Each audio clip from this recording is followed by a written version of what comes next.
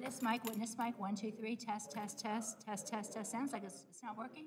Test, look at mine, see if I have a jump. Test, test, test, test, test, test. Do I have a bounce? Bet. Test, test, test.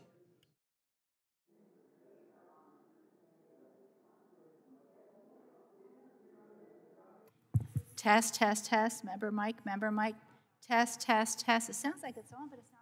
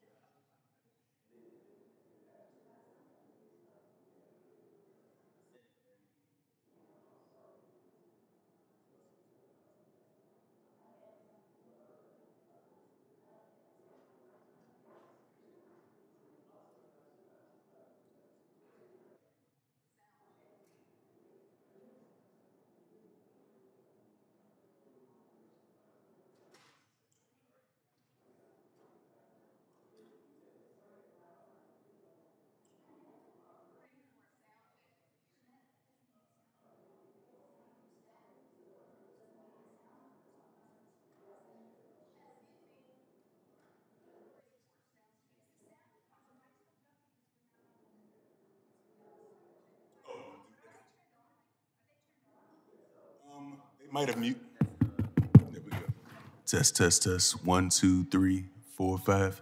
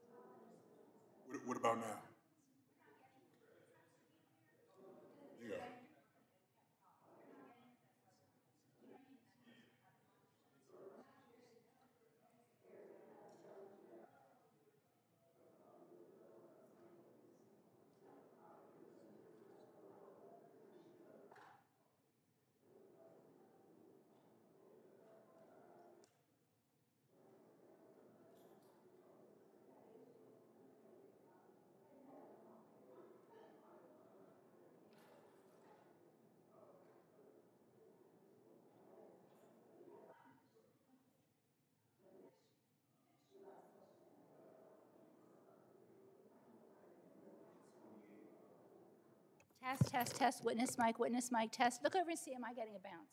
Test, test, test, witness mic, witness mic, test, test, test. Test, test, test, witness mic, witness mic, test, test, test.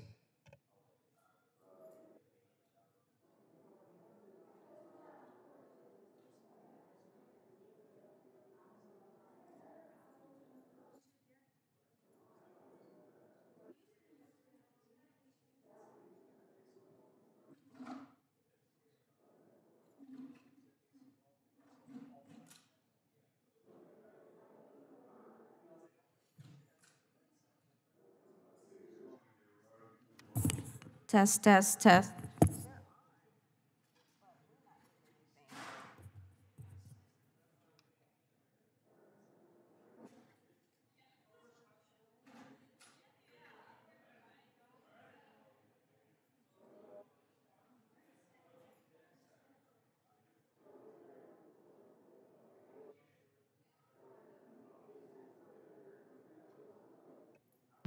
Test, test, test, one, two, three, test, test, test.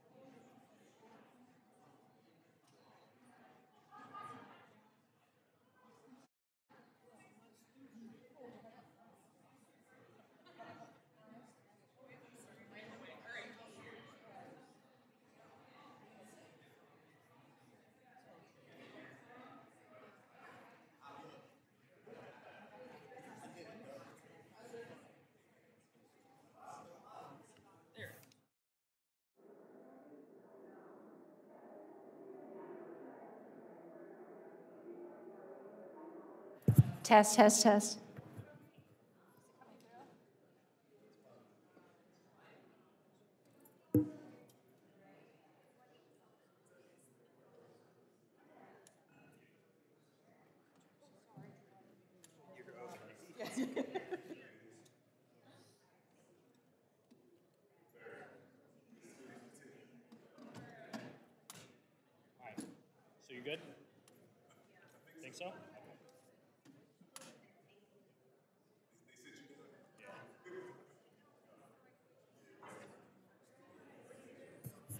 Test one, two, three, four, five, six, seven, eight, nine, ten.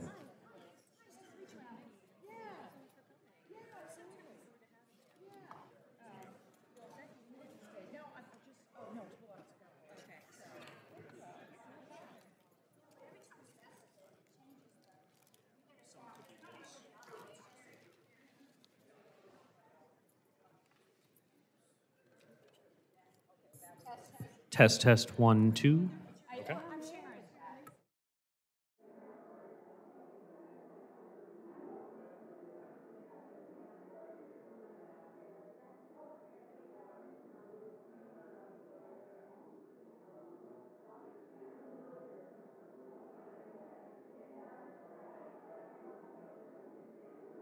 Member test, member test, member test, test, test.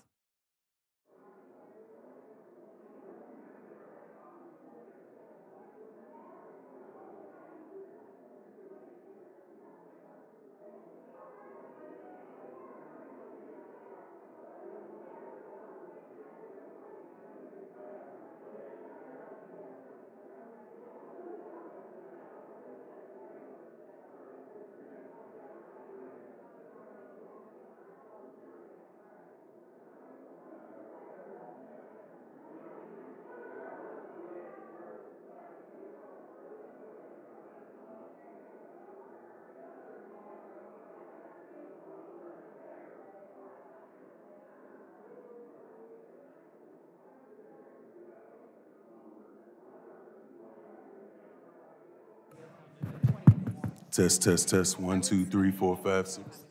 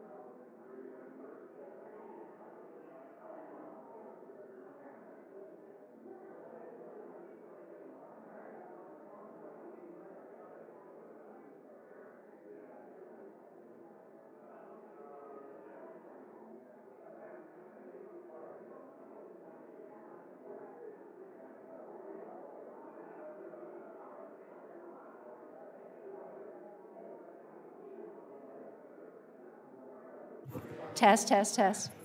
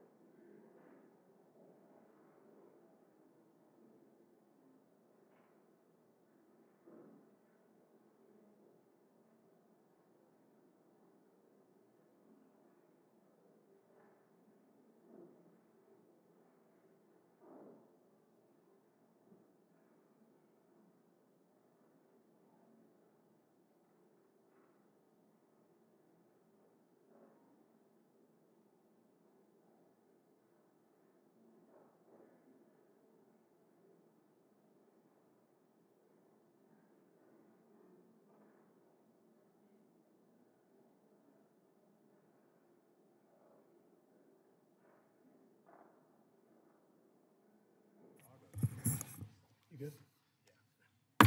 Subcommittee will- Aviation will come to order. I ask unanimous consent that the chair be authorized to declare recess at any time uh, during today's hearing without objection, so ordered.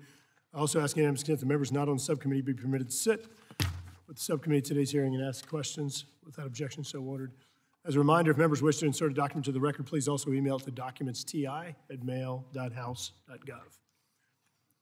I'll now recognize myself for the purpose of an opening statement for five minutes.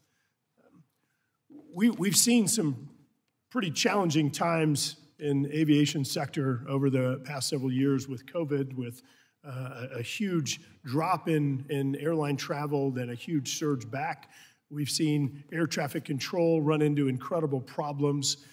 And at the end of the day, it's, it's our job to, to be looking at the impact on consumers, looking at the impact of the, the, the people that are the end users. And there's so many different components in this system. And I think that we're sort of the common thread that are supposed to be looking at this and how we ensure that there's compatibility, that they complement one another. When you look forward and you, you begin looking at the projections for, for pilots, for mechanics, for advanced aviation systems, you look at flight attendants, you look at TSA agents or security personnel, and you look at where we are, we're, we're, we're going off a cliff. And, and what I mean by that is that the challenges that we've seen in recent years, just with uh, air traffic control issues and other challenges, and the, and the huge surge and drop in, in airline travel, that, that that will actually become common, common practice, meaning the, the disruptions, the lack of capacity, the higher prices, and, and the, the, the delays and cancellations if we're unable to meet the projected demand. And so this hearing today is, is focused on um, how, in this upcoming FAA reauthorization bill, we're, we are going to address workforce issues. Uh, absolutely critical issue. This is the last hearing, I think the fourth hearing that we've had on, on aviation. Um, and I think it's appropriate that today um, that we close out by talking about the hardworking men and women um, that are, that are uh, the backbone of our, of our aviation industry. Um, I want to thank the, the, the, full committee chairman, uh, Sam Graves, for working with us and helping to identify the hearing topics that we've gone through. I want to thank my, my friend, Mr. Cohen, the ranking member, and Mr. Larsen uh, for their leadership issues and for their input on this as well to make sure that we're thinking about the big themes and, and thinking about the proper topics for the reauthorization bill. Um, if, I, if I look at the, at the uh, kind of the, the last few weeks or months of, of, of, hearings that we've had, there's no question that we're, we're at a crossroads in, in civil aviation. Um, but I also want to say that the aviation industry, I think, is, is really is remarkable. Uh, despite all the, the flaws and problems, and sometimes in spite of the solutions that Congress imposes, um, sometimes in search of problems, um, uh, we still have the, the safest, the busiest, and the most successful uh, aviation system in the world. And um, all of the successes is owed to the nation's unmatched aviation workforce. And I want to thank, again, the men and women, that, the millions of men and women that make up that, that aerospace workforce. Um, look, as we, as we move forward, um, I, I, I, think it's critical that we get input from the different sectors that are here today. And I'll go through and, and say it again. Whether, whether you're here representing pilots, you're representing airlines, you're representing general aviation, you're representing flight attendants, you're representing the mechanics, you're representing all the ground crews that are out there, you're representing this next generation, this advanced aviation that we're looking at. Um, we've got to get this right. Um, because at the end of the day, if we don't, then the disruptions that we've seen over the last few years, quite frankly, aren't going to be anything. Um, and so I, um, I, I, think it's critical as we move forward um, that we look carefully at the weakest link. We've often found ourselves out there building up one component of it only to not have another. And for example, look at what's happened recently with the constraining of capacity in the Northeast. Uh, we had a weak link. We had lack of capacity in one single sector of the aviation industry. We've had to actually pull back slots or constrain capacity. And starting out, or coming back to what I said starting out, at the end of the day, this is about the consumer. And if we're constraining capacity, we're reducing convenience and we're probably increasing prices. And um, that's not the direction we need to be moving in. So, in closing, I'm going to say this. Um, we are well aware there are projections that make it crystal clear that we've got challenges ahead of us. And we've got to be thinking about how we can move forward in a way that meets the growing demand that we're going to have, but does it while maintaining the clear objective of convenience, of affordability, of safety, of safety, and making sure that we do this in a way that's smart and effective for taxpayers. So with that, um, I uh, I yield back my time and I recognize uh, Ranking Member Cohen for five minutes. Thank you, Mr. Chair, and welcome everybody. And I particularly want to say I'm aware of the, this is Colgan family that's here, and that you continue to represent your, your loved ones who were lost in that terrible, horrific crash, and that you're here to see that we have safe and, and good transportation. Um, I'm from Memphis, Tennessee, and Pinnacle Airlines, which was then Colgan, was out of my city, and uh, I regret that. And they, they didn't run their airline necessarily as well as they should have. They ran it on the cheap. So I apologize. I look forward to hearing from our esteemed witnesses today as we seek to learn about how we can develop and diversify the U.S. aviation workforce. The aviation industry is approaching a critical juncture with respect to its talent development, especially the recruitment, training, and retention of individuals in its workforce. Significant post-pandemic increase, everybody wants to travel, uh, and an aging workforce are just two elements that have exacerbated the need for uh, the FAA, Congress, and the industry leadership to be vigilant in workforce development efforts. Without that, we can't have the airlines as they should be. Partly due to recent staffing issues, the traveling public has had to deal with notable disruptions in air transportation over the past 24 months, uh, with increases in airline, commercial airline delays and cancellations, leaving millions stranded at airports. Um, I just experienced that Sunday when my plane was canceled. Uh, Alex, have we found out why yet? Not yet. We've been trying. They said it was weather, but nobody else knows anything about the weather that would have done that. So I was stranded. Uh, last year, 20% of flights arrived behind schedule, resulting in 1.3 million delayed flights. There were roughly 181,000 canceled flights in 2022, exceeding 2021.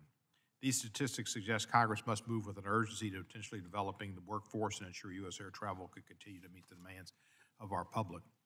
And to ensure our safety rem rem remains the gold standard, we must shift the focus to cultivating new pipelines for upcoming aviation professionals to flow through. One obvious solution resides within collegiate aviation programs, which help students transition from college to career on the flight deck in airports and in repair shops.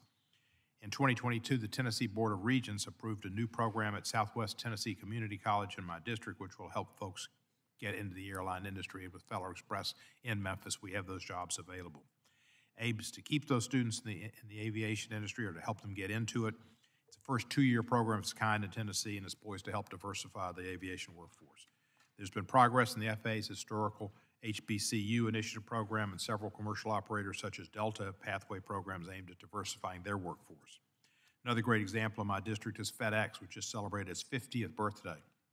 Uh, a birthday that when, it's, when they came 50 years ago, it was transformative to the passage delivery in the world, and to Memphis, it was a, a lifeline and a seamless relationship that continues and should continue forever.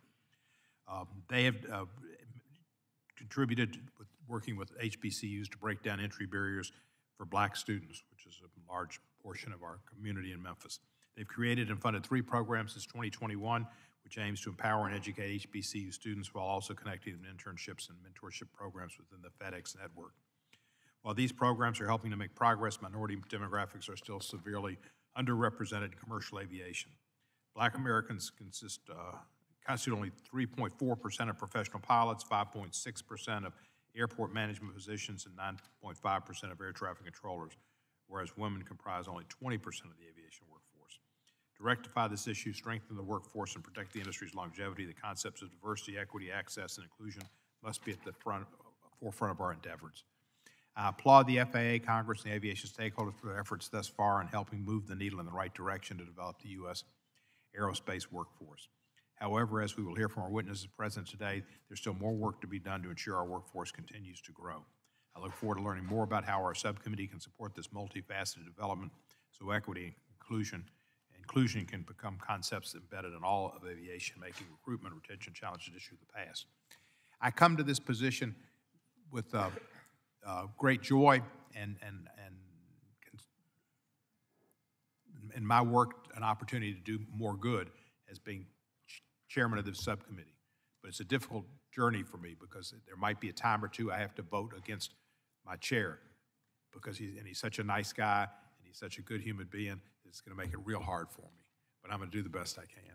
I yield back the balance of my time. You can always just go for a walk. Um, Thank you. Um, I now recognize the chair of the, chair of the full committee, um, uh, Sam Graves, and, and, and somebody who's been a great aviation mentor for me and, and I think knows, uh, knows more about aviation than anyone in this room. I recognize the chair for five minutes. Thank you, Mr. Chairman, and I want to thank our witnesses all for, uh, for being here today. And I do want to commend um, Chairman Graves and Ranking Member Cohen uh, for holding these hearings in advance of the upcoming uh, FAA reauthorization. Um, I think it's very fitting that we kick off our series, first series of, uh, of hearings that we've had uh, with safety, because it underpins our entire aviation system. And, you know, we are concluding today by focusing on the aerospace um, workforce. So the men and women who keep the cogs turning in factories and, and repair facilities and cockpits and air traffic control towers across the country are not only instrumental to ensuring the safety of the traveling public, but they're also ensuring the global competitiveness of the American aerospace system. And now is the time to examine the challenges the aviation industry faces as we build and fly the advanced aircraft of the future. As a pilot, as a professional pilot, I think about how pilot training has remained static over the years, except for the adoption of the 1500 hour uh, rule. We've heard at our first hearing how we've established the gold standard in aviation here in uh, the United States, but it's also true that many other countries have safe systems. None of them have achieved their record by matching the 1500 hour rule uh, for the first officer, um, including the United States. So, in our system, pilots with around 250 hours, they typically are, are very structured hours. They come out of flight school and they're left to bridge that gap um, to 1,500 hours. And only a few of those hours have any kind of uh, uh, requirements associated with them. Um, and they can almost always be logged on a clear, sunny day. And I'm not convinced that kids coming out of flight school and telling them they need to be towing banners or, or teaching students or boring holes in the sky while racking up debt produces um, the best pilots. We all know what the FAA found, and that is the number of flight hours you have are not a reflection of what kind of a pilot you are. And I know some of our pilot groups out there like to point out that we haven't had an accident in the last, uh, in the last 10 years. So I went back through and examined those accidents because they point to the fact that, that uh, they are as a result of the 1500 flight rule, or hour flight rule. So if you go back and look at the accidents prior to 2010, not one single one had anything to do with the 1500 hours. You can classify accidents in two categories. You can classify them as mechanical failure, which the FAA determines is unrecoverable due to something happening to the aircraft, or you can classify them as pilot error. So if you go back in 2004, Pinnacle, what we saw was a severe lack of professionalism where the pilot in command had 7,000 hours and he pushed the envelope during a ferry flight, and he did that intentionally, um, having fun, and it led to a loss of both engines. In 2004, corporate airlines pilot failed to properly execute a non precision approach. Both crew members had in excess of 1,500 hours. Comair in 2006, pilots attempted to take off from the wrong runway. Both crew members had well in excess of 1,500 hours. And then we come to Colgan. The captain responded incorrectly to a stall warning that led to the loss of the airplane. Both crew members had well in excess of 1,500 hours. The captain had 3,379 hours, and the first officer had 2,244 hours. Had nothing to do with the 1,500 hour flight rule. we have got to find better ways to train safer and better skilled pilots and give folks the credit for the skill that they demonstrate or the high quality training that they receive. Let's look at the military. You come out of the military and you go into combat 300 hours. So what we're saying is, is that pilots have 300 hours. They're qualified to fly an F-15 for the Air Force or an F-18 for the Navy in combat, but they're not qualified to fly in the right seat of an airliner. They're qualified to fly in a C-17 or a C-130 hauling heavy cargo, but they're not qualified to fly in the right seat of an airliner. We all know what happened in Buffalo. And I agree that the system covered up some problems. That's where we need to focus. We need to focus on what the problem is, not what the problem isn't. Anything less is an insult to the professionalism in the industry um, that relies on our pilots, to be quite honest with you. And with that, I look forward to hearing from our witnesses about the ways that we can improve not only the pilot workforce, but other skilled professionals um, our pilots depend on to make sure that we deliver the people and the goods um, all over the country. And with that, thank you, Mr. Chairman. Thank you, Mr. Chairman. Thank you for your opening remarks. I now recognize the ranking member of the full committee, Mr. Larsen, for five minutes for an opening statement. Uh, Thank you, Chair, uh, for calling today's uh, FAA reauthorization hearing to explore the challenges facing the workforce in aviation and aerospace. American innovation and economic growth and global leadership are impossible without the hardworking Americans that make up our nation's aerospace and aviation workforce. These dedicated and talented individuals keep our skies safe and efficient, design, build, repair, and operate our most modern aircraft, and help ensure the traveling public arrives at their final destinations without incident, Representative Cohen's experience notwithstanding. The last few years have exacerbated ongoing challenges facing the industry and workforce. Congress has a responsibility to address these challenges to ensure that we retain a robust U.S. aerospace and aviation workforce now and in the future. Recent projections show air travel is expected to reach pre-pandemic levels in North America by the end of this year. And that growth is welcomed, but the industry has struggled to keep pace with this robust recovery that, thanks to decisive congressional action to sustain the industry during the pandemic, occurred much faster than anticipated. Often at the forefront of this discussion is the availability and recruitment of U.S. commercial airline pilots. While there continues to be debate about whether the current or future supply of pilots is enough to adequately meet demand, here are some facts. The FAA has reportedly issued an average of more than 6,200 new airline transport pilot or ATP and restricted uh, ATP or RATP certificates every year since 2014. From 2017 to 2022, the number of new ATP uh, certificates issued annually more than doubled from an estimated 4,500 to 9,600 certificates. And the Bureau of Labor Stats, or BLS, projects the overall employment of airline and commercial pilots to grow 6% from uh, 2021 to 2031. Meanwhile, the U.S. maintains its role as a global leader in aviation safety, in part due to the key safety rule requiring 1,500 hours of total flight time for pilots hired by U.S. airlines.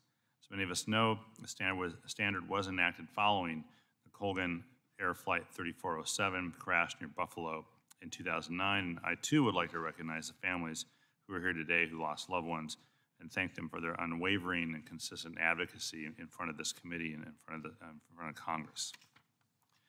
Since the establishment of this rule, the U.S. commercial airline industry has experienced one of the safest decades on record. And while the advancement of aviation technologies such as full-scale flight simulators and other computer-based equipment are helpful tools in developing a more skilled and safer pilot workforce, there is no substitute for real-world flying experience on a flight deck. So preserving the current safety requirements on training are critical to maintaining the U.S. gold standard in aviation safety. Further, Congress and the, uh, the FAA and stakeholders must expand the pipeline and, of talent and improve efforts to recruit train, and retain a robust workforce from every part of our society. To address this priority, the 2018 FAA bill invested $10 million annually in the Section 625 Aviation Workforce Development Grant programs to support the training and recruitment of new aircraft mechanics and pilots.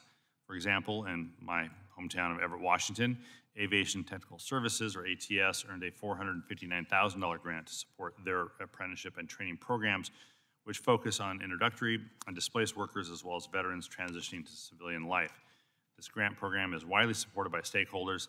Unfortunately, despite receiving hundreds of applications, the FAA could only award 53 grants in the last two funding rounds. So increasing the overall funding level for this program would also help alleviate the bottleneck in training. And finally, as our nation works towards a long-term recovery, uh, it is critical that educational and career opportunities in the aerospace industry be available and accessible to all uh, Americans. According to the latest census data, women represent more than half of the U.S. population, 50.8%, yet only 3.6% of airline captains and 2.6% of aircraft mechanics. Further, more than 13% of the U.S. population is African American. However, only 3.4% of commercial air pilots are African American. Uh, my point here is that there is an opportunity, the opportunity for the aviation and aerospace industry, not just to take the initial steps to enhance and diversify its workforce uh, through the creation of flight training academies, apprenticeships, and other career programs, is that more can be done. And Congress must expand the pipeline of people entering aviation careers by increasing outreach to and opportunities for communities unre- underrepresented in the industry because it's not just the right thing to do, it's probably the most economic, uh, economically uh, competitive thing that we can do to maintain the long-term health of the industry. And so I would, um, I look forward to the, the um, uh, testimony today from our panel, and with that, I um, yield back my negative two seconds. Almost on time, Mr. Larsen. I'd like to welcome our witnesses today and thank them for being here. Briefly, I'd like to take a moment to explain how our lighting system works. There are three lights in front of you. Green means go, yellow means you're running out of time, so wrap it up, and red means your time has expired. I ask unanimous consent that the witness's full statements be included in the record. Without objection, so ordered. As your written testimony has been made part of the record, the subcommittee asks that you limit your oral remarks to five minutes. And with that, uh, Ms. Black, you are recognized for five minutes of your opening testimony. Thank you very much. Chairman Graves, Ranking Member Cohen, subcommittee members, I'm Faye Malarkey Black, CEO of the Regional Airline Association. Thank you for including me. Every airline worker holds the safety of passengers in their hands. My full statement covers more ground, so I'll focus now on the pilot shortage, which has grown for years. While our industry contracted, small communities lost air service, and other airline employees lost jobs. Thank you for the payroll support program. It saved our industry. Still, we emerged smaller from the pandemic. Regional airlines did not shed pilots, but larger airlines saw 6,000 leave. Their replacements, plus more from gro for growth, came from regionals.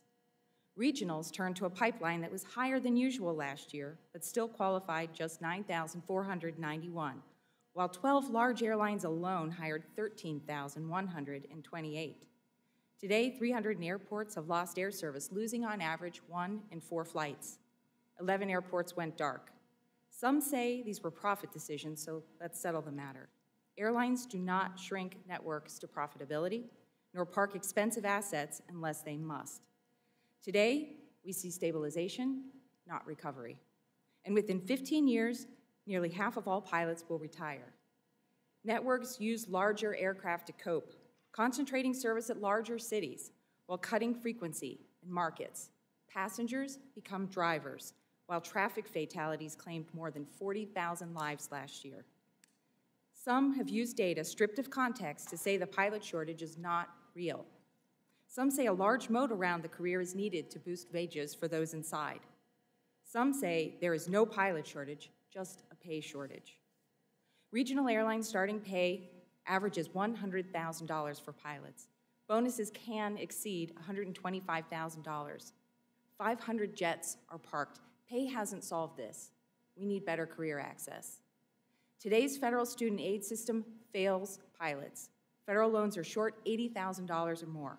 Airlines provide subsidized training and other supports, but lower income families can't bridge the gap. Today's pilots are 96% white and 91% male. A racial wealth gap means cost barriers hurt people of color most. Many find work first jobs to afford pilot jobs. The average new hire is in their 30s, the median age for childbearing.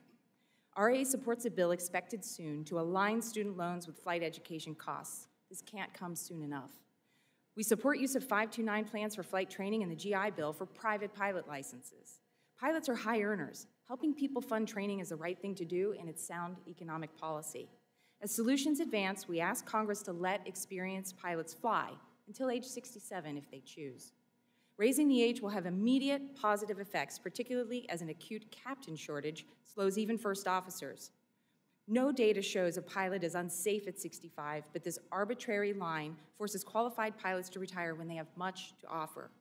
These are mentors for the next generation, and they have our support. Most importantly, RAA urges Congress to ensure pilot qualification standards ensure qualified pilots. A rule change in 2013 required pilots to gain vastly more pre hire flight time, without support for pilots shouldering the burden. This was intended to improve pilot experience, but the reality has been different. The same studies FAA used to craft the rule have been updated four times, and each shows that pilots now build time at the expense of the quality and the recency of their training. The more time pilots spend building hours, the more the positive effect of their training fades. Despite the rhetoric, pilots do not encounter icing or thunderstorms or practice commercial flying procedures when they build this time. They fly light aircraft in clear weather. They arrive in our training programs with high time, but they are not ready. Failure rates have soared, even though airlines have, have tightened screening and expanded training footprints repeatedly. Over reliance on hours has introduced risk, and we are compensating with remedial training. We have not asked to change the rule. Congress has already provided the remedy, directing FAA to approve training pathways that enhance safety, but just three exist with no action since 2013. The operating environment has changed, and flight simulators and training devices have advanced. No airline would assume a 2013 training program remains relevant today, and the FAA should not either. FAA must keep up, and we ask Congress to keep watch. There's never been a better time to be a commercial airline pilot, but we need safe policies to open doors to this transformational career. We will keep doing our part. We'd like your help. Thank you again for the opportunity to testify today, and I look forward to your questions. Thank you, Ms. Black. Dr. DeVito, you are recognized for five minutes of your opening testimony. DeVito. It's DeVivo, but that's DeVivo, okay. my apologies. Members of the Subcommittee on Aviation, thank you so much for allowing me to speak to this esteemed group. I'm honored to be part of this panel of engaged leaders who are working to provide opportunities to the next generation workforce. I come here today to offer two perspectives. The first is as the chair of the Youth Access to American Jobs and Aviation Task Force, a group of 21 members charged by Congress to look at how we provide a growing workforce pipeline to the aviation and aerospace industry. We developed 21 recommendations to address this challenge. The second perspective is as the president of Vaughn College of Aeronautics and Technology, a private nonprofit institution in New York City. We offer certifications and degree programs in aviation. The task force provided a roadmap for implementation with a set of actionable items using documented best practices and initiatives designed to grow the workforce.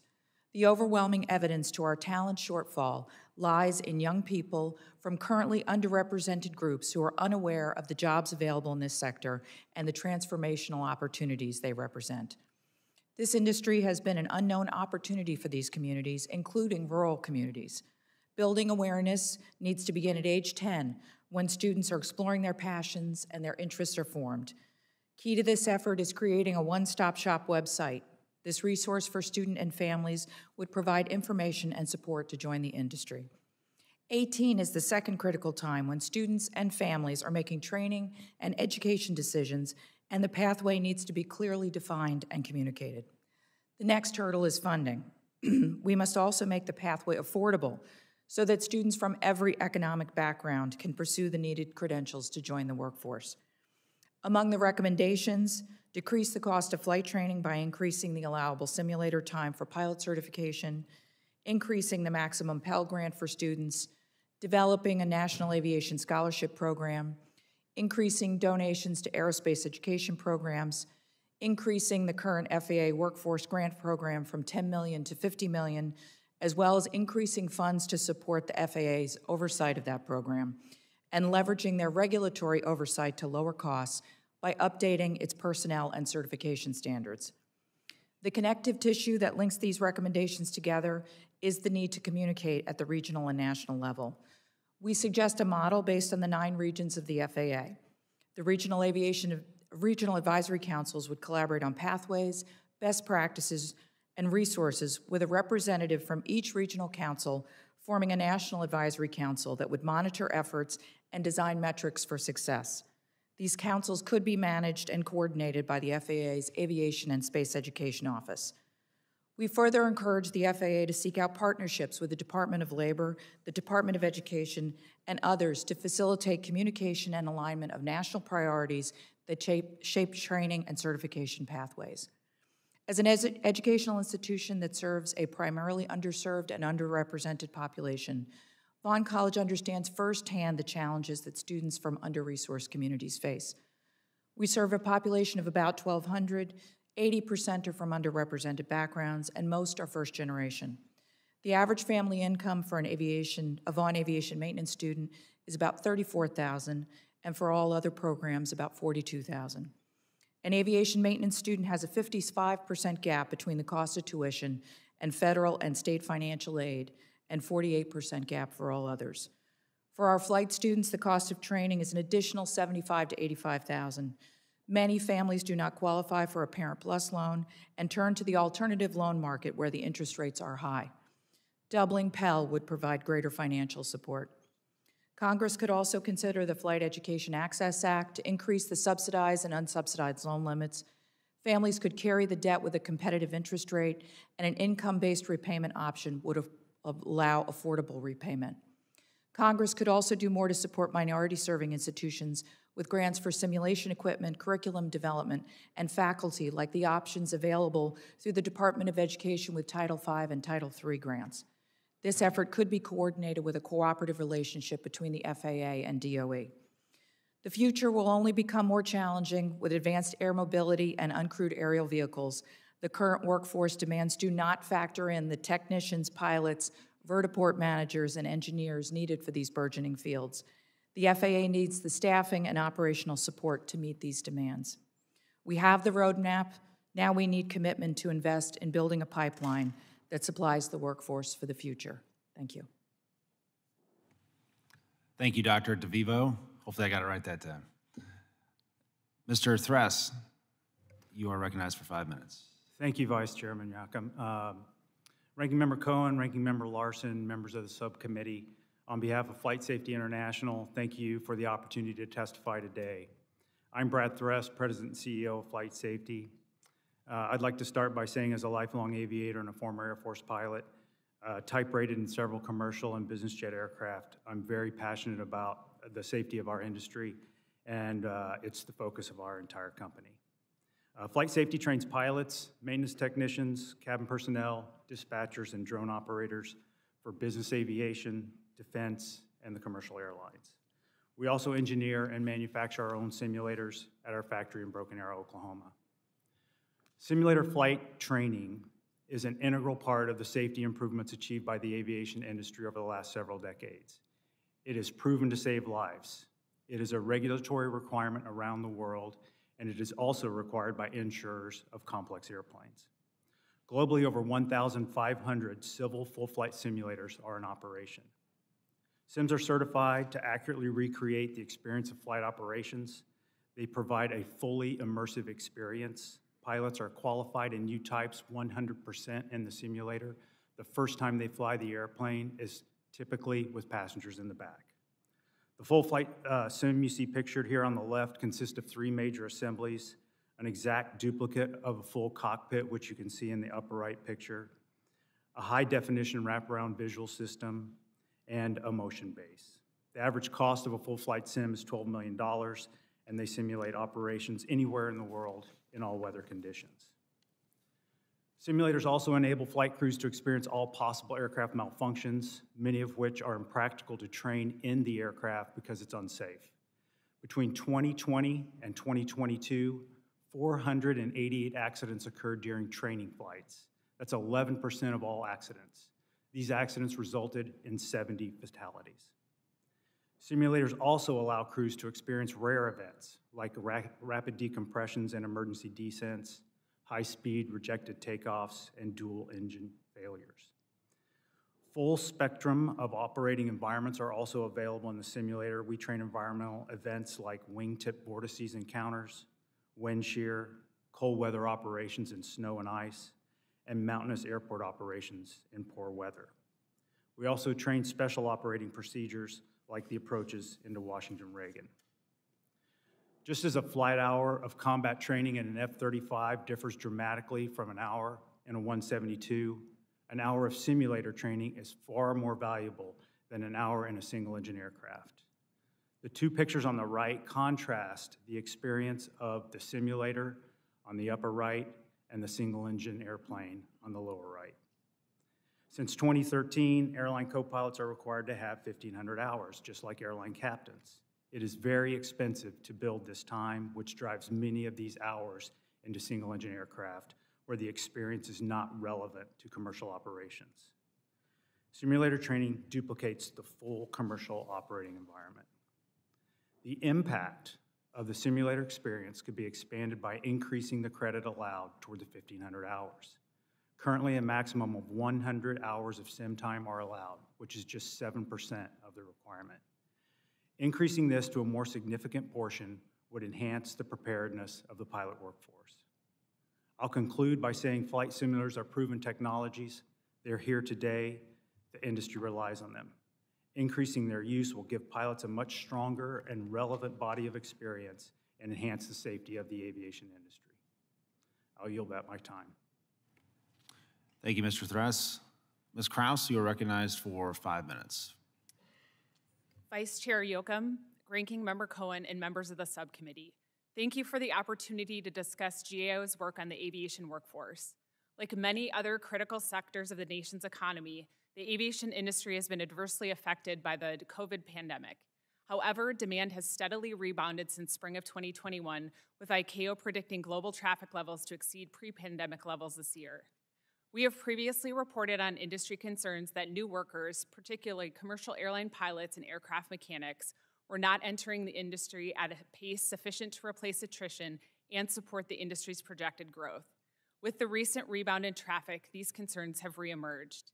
My statement today is based on our past work and forthcoming report on the aviation workforce, and will focus on one, what federal and industry data reveal about the supply and demand of airline pilots and aircraft mechanics, two, challenges to maintaining or growing workforce supply, and three, actions the aviation industry and FAA are taking to address those challenges. First, federal data, federal and industry data on the supply of US pilots reveal a growing but also aging workforce. From 2017 through 2022, the total number of individuals qualified to be airline pilots, that is, those holding airline transport pilot or ATP and active medical certificates, increased by 3% or 3,000 or by 2%. The number of students enrolled in four year pilot training schools also doubled from around 15,000 in 2017 to around 30,000 in 2021. However, as of 2022, over half of active ATP certificate holders were over the age of 50. While the supply has increased, the combination of increases in pilot hiring, wages, and employment in recent years also shows strong demand and can serve as indicators of a tight labor market. Demand for pilots is especially acute among regional airlines, reporting that their operations have been affected by difficulties in hiring and retaining pilots, particularly captains who have moved to larger airlines. As for aircraft mechanics, mechanic certificates grew by 11% and student enrollment grew by 18% from 2017 through 2022. However, there was a decline in employment levels and an increase in wages, which may suggest that the number of mechanics willing or able to work in aviation has decreased. There are some limitations to what data can tell us about this workforce. For example, because some certificated pilots and mechanics may be working for other industries or aerospace companies, the ATP and mechanic certificate data overestimate the number of currently, currently employed by airlines or repair stations. In addition, future supply and demand projections are inherently uncertain. For example, the projected growth assumes continued economic growth. If a recession or another unexpected event affecting demand were to occur, the projections may be higher than actual demand. A number of challenges continue to constrain the supply of pilots and mechanics, according to aviation stakeholders we interviewed for our forthcoming report. Several of these challenges we have reported on before and include one, the high cost of pilot education, two, pay and working conditions faced by mechanics whose skills are highly valued by other industries, and three, limited workforce diversity, which shrinks the pool of potential future applicants. Airlines, repair stations, and FAA are taking steps to address these challenges. For example, several regional airlines recently increased pilot pay, in one case, boosting starting wages for first year first class officers and captains by around 120% and 175%, respectively. In addition, some airlines and repair stations have established their own training schools and programs to help train pilots and mechanics. FAA also has several efforts to enhance outreach and attract more youth and diversity to aviation mm-hmm. careers. For example, under the Aviation Workforce Grant programs established by Congress in FAA's last reauthorization, FAA awarded $5 million to 16 schools for pilots and another 5 million to 15 schools for maintenance workers in 2022. However, FAA received more than 300 applications for these grants, and several stakeholders we interviewed said the funding provided is likely not enough to make a substantial impact on supply challenges. In closing, a sufficient supply of skilled aviation workers is critical to ensuring a safe and robust aviation system. The recent strong recovery of aviation demand has been good for the industry, but has also exacerbated long-standing workforce challenges. Meeting aviation workforce needs is a shared responsibility among the aviation industry, schools, and government. This concludes my statement. I look forward to answering your questions. Thank you, Ms. Krause. Captain Ambrosi, you are recognized for five minutes for your opening statement. Chair Graves, Ranking Member Larsen, Chair Graves, Ranking Member Cohen, and members of the subcommittee, thank you for the opportunity to offer my view on behalf of more than 67,000 pilots of the Airline Pilots Association International. I'd like to thank this committee for its bold action in 2020 to pass the payroll support program. It prevented the collapse of the airline industry and saved American jobs. Your work guaranteed that this country would have enough pilots during the pandemic and could respond to demand-driven growth when recovery came. Thanks to you, United States has more than enough pilots and the safest skies in the world. A decade earlier, this committee also came together in a bipartisan effort to take on a crisis in our industry, a series of fatal accidents, the last of which occurred near Buffalo, New York in 2009. I'm honored that the families of those who lost loved ones on that flight and on the ground are represented here today. In response to more than 1,100 lives lost in U.S. airline accidents in the 20 years prior to 2010, Congress heeded investigators who found that inadequate pilot experience and training had contributed to the crashes. In the 2010 FAA bill, you established stronger pilot qualification, training, and experience requirements and made other aviation safety improvements. Since then, passenger fatalities have dropped by 99.8%. This year's reauthorization should be based on retaining these provisions. This pilot training framework has also produced tens of thousands more pilots over the past decade than airlines needed. The United States has certificated nearly 64,000 airline transport pilots since July of 2013, while airlines have hired to fill approximately 40,000 positions. In this context, airlines' decisions during COVID to bump pilots to smaller equipment, park aircraft, as well as furlough and put pilots on inactive status have created a training backlog. When demand and subsequently growth returned more quickly than some airlines anticipated, most of these pilots had to be retrained. Retraining is time intensive and expensive. It also relies on a training footprint that includes personnel and simulator devices and wasn't designed for a global pandemic. Fortunately, we have more pilots available now than before the pandemic. As a result, the training backlog is already resolving itself as airlines get caught up. Moreover, pilot training classes are at capacity and college aviation programs are full. With the recovery, and thanks to this committee's work, airlines are hiring pilots as companies expand market share and networks. As a result, new workers are performing new roles in air transportation system that's already stressed and working to integrate new and expanding users. This is no time to weaken safety standards. The current labor market is complicated by pilots moving among carriers as they leave airlines that offer less attractive careers for those providing better pay and quality of life. Regional airlines have traditionally offered second-tier pay and work rules, and some would rather lower safety standards than pay pilots a living wage. This isn't how the United States became the gold standard in aviation safety, and it's predictable that pilots would pursue better opportunities. Large passenger and cargo airlines have 7,500 more pilots today than before the pandemic, even when we account for pilots who change jobs multiple times. While encouraging, we shouldn't lose focus on continuing to expand the pilot pipeline. In this year's FAA reauthorization, Congress should build on the strength of America's aviation workforce, maintain safety, and open the doors of opportunity for all those who aspire to fly by providing student loans for appropriate flight training programs, establish grants to build flight training and education degree programs at minority serving institutions, increasing funding for workforce development grant program, and making the Women in Aviation Advisory Board a permanent body. At the same time, we need a real dialogue about our nation's commitment to air service to small communities. I flew for a regional airline and am committed to ensuring that small and rural community passengers have access to safe and reliable service. However, under deregulations, airlines base service decisions on market demand. ALPA stands ready to work with this committee to improve the essential air service program. We support increasing the subsidy cap, enabling the regulator and airlines to adjust EAS payments when appropriate, and modifying airlines' frequency requirements. Actions like these, not weakening safety standards, will provide the air service rural communities need. ALPA looks forward to collaborating with this committee to ensure this nation continues to have an abundant supply of airline pilots and lead the world in aviation safety. Thank you. Thank you, Captain Ambrosi.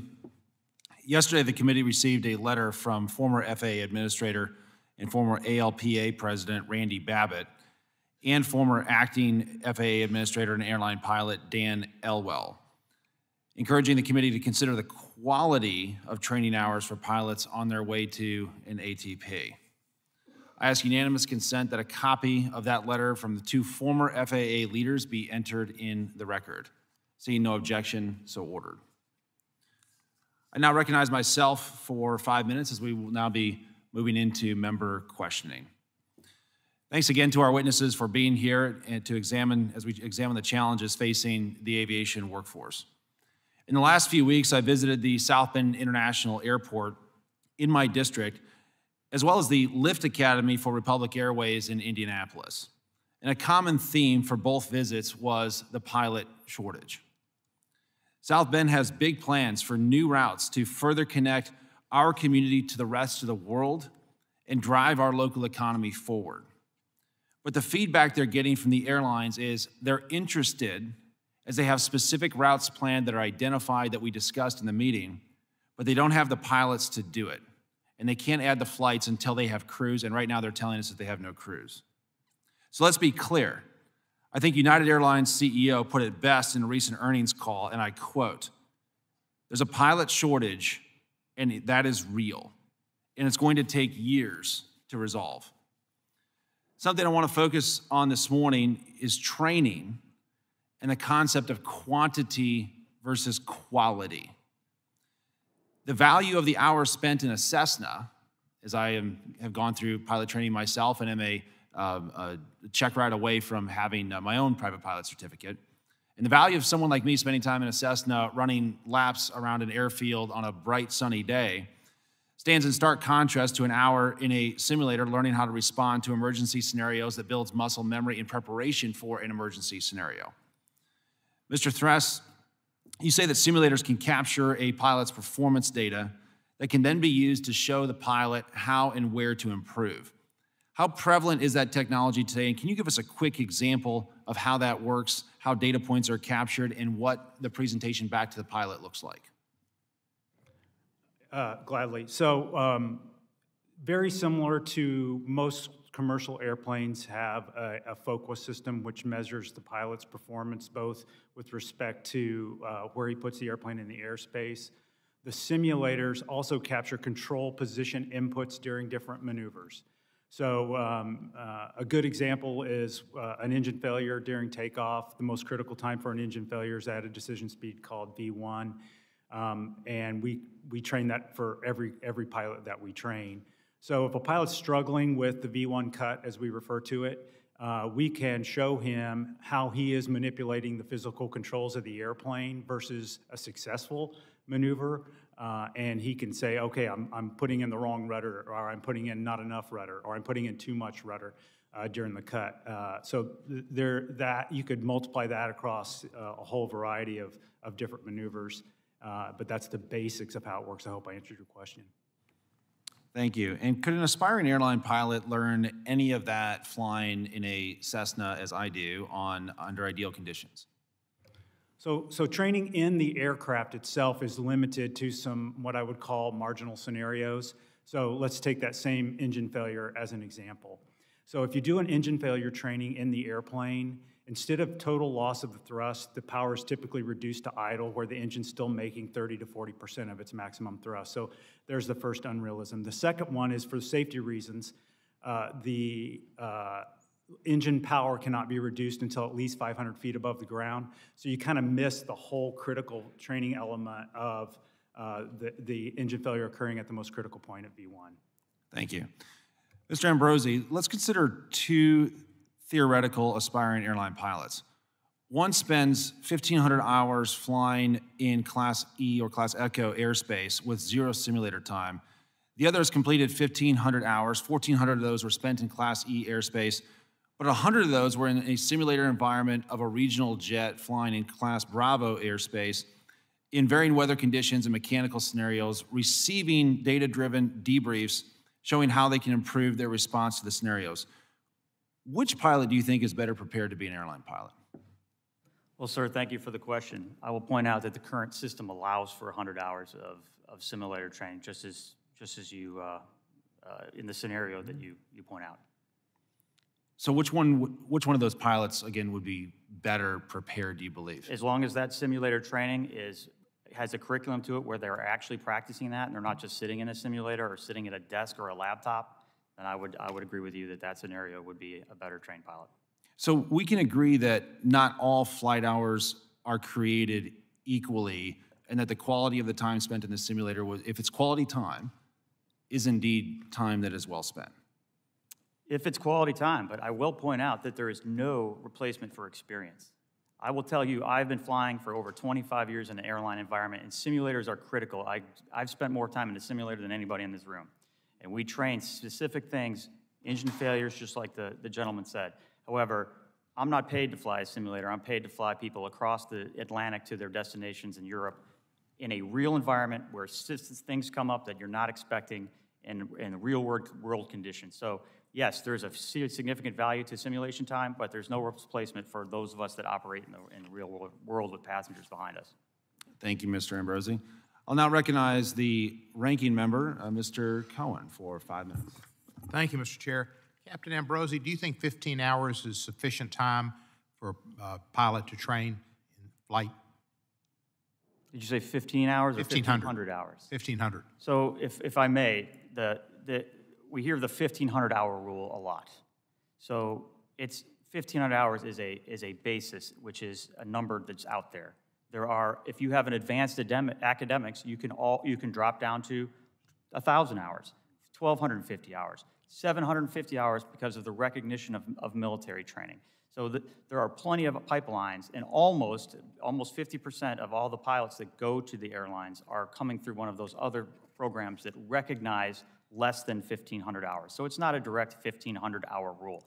I will also point out that under the current law, the 2010 bill, people can bring, uh, proposals can come in front of the aircraft, eh, the ACT-ARC, Air Carrier Training Review Committee, just like those did, and there can be credits. So all the proposals that are bringing on, on simulator time or anything else can go to the ACT-ARC and it can be recognized. There is a process in place. There is no legislative change required. Do you think it would be a good idea to maintain the current, current rules? Absolutely. Look, since 2010, F fatalities are down 99.8%. I mean, that's a number that nobody can play with statistically. Fatalities are down 99.8%. We haven't had a fatal accident. We are the safest in the world. Comparing ourselves to other places around the world that have lower training, uh, do, do, do people in small communities deserve less safe service? No, we should be striving to improve safety, not just have some, some, some lower level of safety just because we've had a good 10-year period with, with no fatalities. Would you think it'd be a good idea to keep the current rule, which we have, and also add, say, 60 hours on a simulator in addition to the time you have in flight? I will point out that, that it's, let's say 1,500 hours. 100 of that already today can be in a simulator. Right, but let's just say, let's say you take that out of that, and you make the 1,500 being, and, and, and less, 750 for the military, et cetera, be up in the air, flying around on a pretty day, et cetera, et cetera. Uh, And then add to it an additional 60 hours in a simulator. That's an addition to, not in lieu of. There'd be nothing wrong with that, but I would say today's rule allows for simulator time that's not even being used. Right. The- Most of that 100 hours is not being used today. So they could go ahead and use that 100 hours today. Thank you, sir. Mr., is it Threes? Thress, I'm sorry. What would, what, you, do you think the 1,500 hours is, is, is, is good or bad, the rule we've got with the annotations that the captain? Yeah, I- I think I would shy away from the 1,500-hour rule, making comment on that. I think it's for the regulator to observe. I'm just saying that uh, of the hours that typically go toward the 1,500, a lot of them are at a, a very simple, uh, unrealistic, as uh, was discussed previously, uh, not, not uh, relevant to the commercial uh, airline uh, operating environment, and that the simulator is much more valuable than flying around in a, on a blue sky day in a 172. Well, what about keeping the rule like it is and adding that you also have to do 60 hours in a simulator? Yeah, I, I have no objection to that, and I think that would add value and add richness and experience uh, and build safety for the, the aviation industry. Thank you, sir. Now let me ask the panel to refresh my recollection. I, I had some memory of a African-American pilot, and this goes to the lack of African-American opportunities in the air industry, but an African-American pilot who I think flew around the world solo. And he might have been from Miami, and he might have gotten some, you're familiar with it? Did he, did, is there a program that he got started or he was part of in Miami to try to get students there involved in the aviation industry, and how's that worked out? I think you're referring to Captain Barrington Irving. Yeah, that's it. Um, Is a, is a wonderful, if I, if I had a check for a million dollars, I, I think I would try and give it to what he is doing, because he has showed people um, in communities that are similar to the community that he came from, that there's room for him, there's room for them in aviation.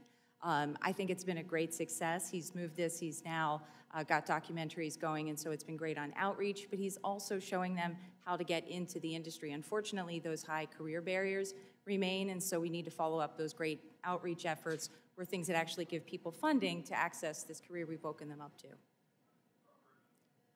Since Jay Beresford Tipton is not here to give you a million dollars, how would you recommend that the Congress, with its millions of dollars, utilize Mr. Irving and his program? We had all, all had a great start with the workforce grant programs. That's been really important. Those were oversubscribed on the maintenance side. Um, on the pilot side, that could be expanded to uh, uh, pay a little bit more for uh, to pilots that are trying to go through training and education and support some of that. So increasing that funding would be helpful. And we expect legislation, the Flight Education Access Act, that'll help uh, right size the gap between what you can get out there in student loans. They're capped today, and the actual cost of flight training is inherently more expensive, and there's about an $80,000 gulf. So if you come from a lower income family, you can't get across. And in fact, we have a very modest scholarship program. Uh, we give about four or five thousand dollars out a year, but we often hear from people that if it were not for that modest amount we gave them, they would have stopped the flight education, flight training part of their program. So it's clear we need to do more to give people education funding. Thank you. Could you share some of the information about Mr. Irving with my staff? So we'll have, refresh my recall and maybe we can contact him. We'd love to share information and make an introduction if you'd like. Thank you so much. I yield back. Thank you, Ranking Member Cohen. The chair now recognizes Mr. Bean for five minutes. I thought it was going to be a lot longer, Mr. Chairman, so thank you so much. And good morning, panelists. Good morning, uh, T&I Subcommittee. What an honor to be with you and uh, for y'all to be forward. Uh, Captain Ambrosi, you're a lot of times sitting up front at the plane. Sometimes you're sitting in the back. If you're sitting in the back of the plane, what scares you? What do you worry about if you're sitting in the back of the plane? Do you ever get concerned about anything? What should the public be concerned if they're sitting in the back of the plane? Maybe food poisoning? No, in all seriousness, uh, our airlines have great food. I'm not going to. Uh, look, it's about having well-trained pilots, flight attendants, mechanics, making sure that this industry is as safe as it is today. What I worry about is are the attacks by special interests to roll back or change regulations that have worked. Again, we're back to this is simple: 99.8% reduction in fatalities in the last 10 years since the 2010 FAA bill. That, that, it's easy. We don't have to talk about any other numbers besides that. Safety. Let's do things to enhance. Let's make it better. We're the gold standard of aviation. My first ever hearing in the short three months I've been in this position. How, what are we going to do to make that even better? We shouldn't be talking about equivalent or rolling back. We should be how do we make it better? There's been a series of you know recent incidents. It's been in the news. Uh, I participated in an FAA safety panel With those kind of things going on because of all the new in the system, why are we discussing potentially rolling back or, or decreasing a level of safety? 10 4. 10 4. No, thank you for uh, sharing that. I'm on several other committees. Uh, I'm on Education and Workforce, Small Business. You name, of course, all these committees meet at the same time, but you name the industry, and everybody is suffering from lack of skilled workers in their industry. You name it, and so everybody. So we have to rethink how we are getting kids fired up about careers, whether they're a pilot or an auto mechanic, or more importantly today, an aircraft mechanic, or somebody that can fix a simulator. So let's rethink it. The Pell Grant, I know uh, Dr. DeVivo, you talked about changes to the Pell Grant. More money is one thing, but is there anything we need to do? Pell Grant, it's now 50 years old.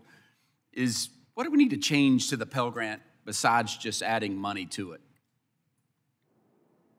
That's a great question. So, for most um, students from under-resourced communities, um, Pell is helpful, but it's all the expenses around going to school that are often not funded. So, uh, if you're commuting, how do I get a bus? Pa- how do I afford a bus pass? How do I make sure I can afford my books?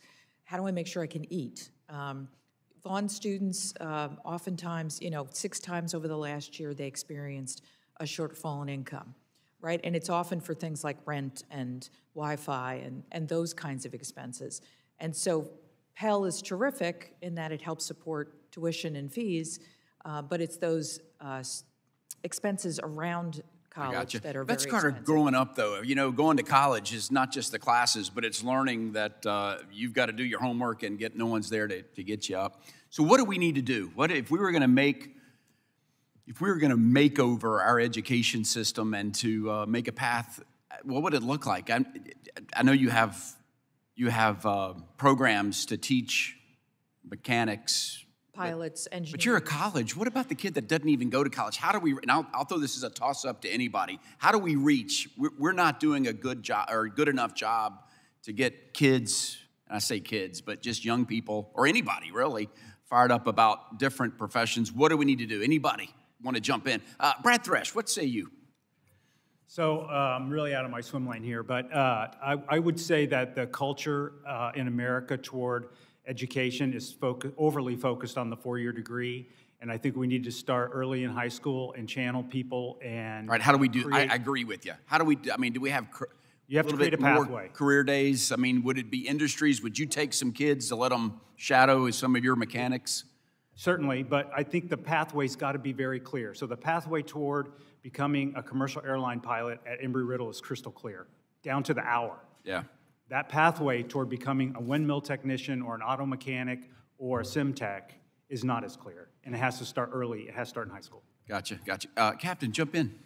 Yeah, I would just add that, that, that we understand, and, and as the Airline Pilots Association, we begin our outreach all the way down to middle schools. We do over a thousand visits a year at middle schools. We're trying to expand to make our a more diverse workforce. Our pipeline is full because, like, as you said, it's very clear how to be there, but we need to get people inspired. Minorities, women. My, my daughter is eight years old, and I want her to have opportunities that, that females 30 years ago when I was going through it didn't, didn't have. So it's about getting out there and doing that outreach. 10 4. My time's expired. I love the conversation, love the ideas and thoughts. And so uh, thank you for being a part of the uh, debate today. Thank you. I yield back, Mr. Chairman. Thank you, Mr. Bain. I always appreciate your enthusiasm, sir.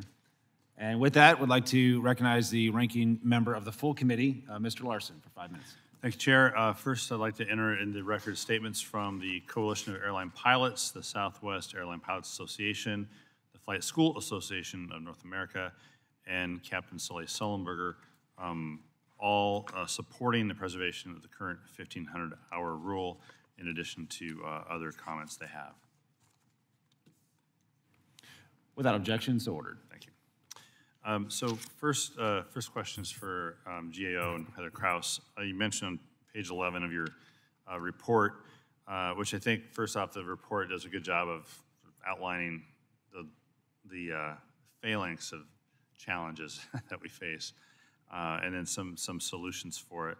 But on page 11, discuss infrastructure constraints, by which you mean school infrastructure, facilities, ability to train students and as well as the increasing demand from traditional aerospace and from emerging AAM industry. And wondering if the GAO has done anything specifically about uh, a study on the AAM industry with regards to the opportunity, employment opportunities, but also um, the, uh, the shortage or the dearth of folks who um, can help that industry as well.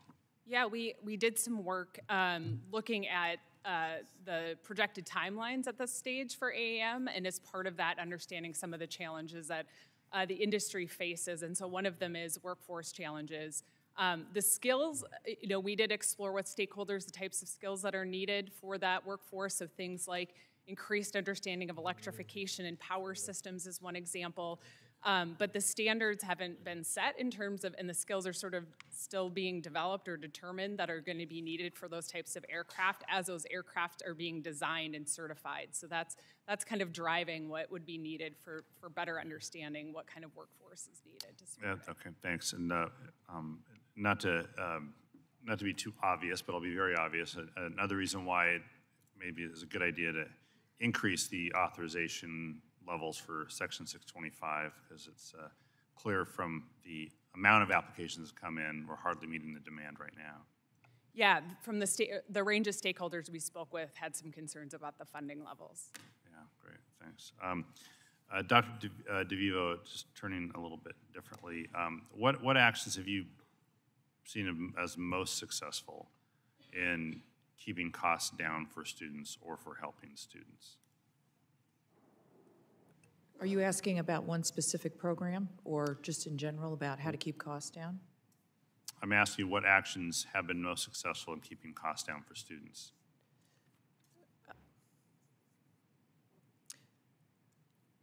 So I'm, I'm not sure I completely understand what you're asking in terms of, you mean as an institution? I'm not trying to be belligerent, I'm just. I'm- just no, no, no, I'm just trying to Simple question about what are the best opportunities, what are the best actions that, uh, and easiest for students to, to use in order to keep their costs down for, for uh, aviation schools, in your experience?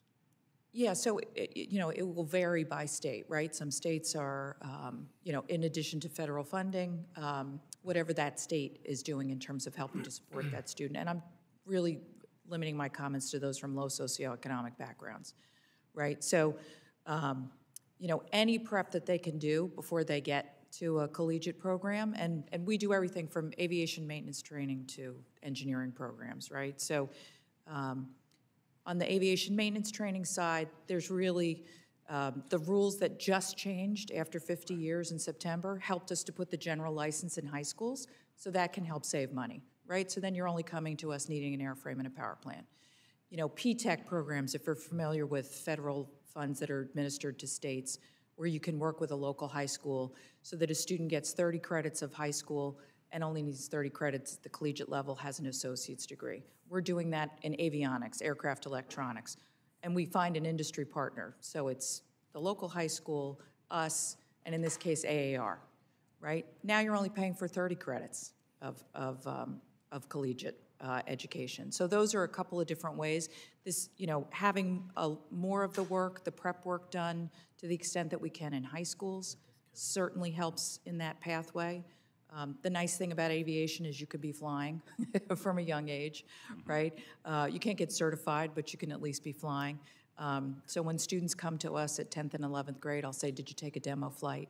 You know, start to get a sense of what the career path looks like. You can start to build hours even before you get to us. Those are some of the options that really help lower the cost for families. Thanks, I appreciate that, and I appreciate it, Mr. Chair. I just wanted to ask some other questions other than the 1,500-hour rule. We're getting a good debate on that, and I think that's great. Uh, But the workforce development part of the FA bill title will be, be addressing much broader issues as well, and I want to be sure we get some other things on record. But I want to thank uh, Captain Brosey for being our, our witness here today. Thanks. Thank you, Ranking Member Larsen. The chair now recognizes Mr. Nehls for five minutes. Uh, Thank you, Mr. Chairman. Listen, we all understand that pilots undergo frequent and higher levels of testing most any other high-stakes profession. Pilots who turn the age of 40 are required medical evaluations every six months, an EKG every 12 months, and performance tests every nine months, recurrent training and qualification programs approved by the FAA, and regular flight test performance evaluations. Pilots over the age of 60 also undergo frequent similar assessments to verify their continued competence and flight skills. These assessments provide an evidence-based and evidence-based measure of a pilot's decision-making, reaction time, communication, and overall performance. And there is no better measure of the competencies required for safe and effective flight than simulator assessments, regardless of age. In 2007, the FAA changed the age of pilots on large carriers from age 60 to 65. Back then, ALPA was against raising the age. They fought against it aggressively.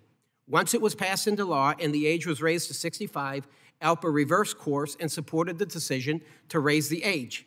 Uh, Mr. Ambrosi, are you familiar with the name Captain John Prater? Yes, sir, former ALPA. Okay. Mr. Prater was ALPA's president back in 2007 when the age limit was raised to 65. In a speech in 2010, Mr. Prater praised the decision to raise the age and said it has helped with the pilot shortage. Mr. Ambrosi, are you familiar with his speech? I am not. Okay. It is my understanding his speech was on ALPA's website last year, and now it can no longer be found.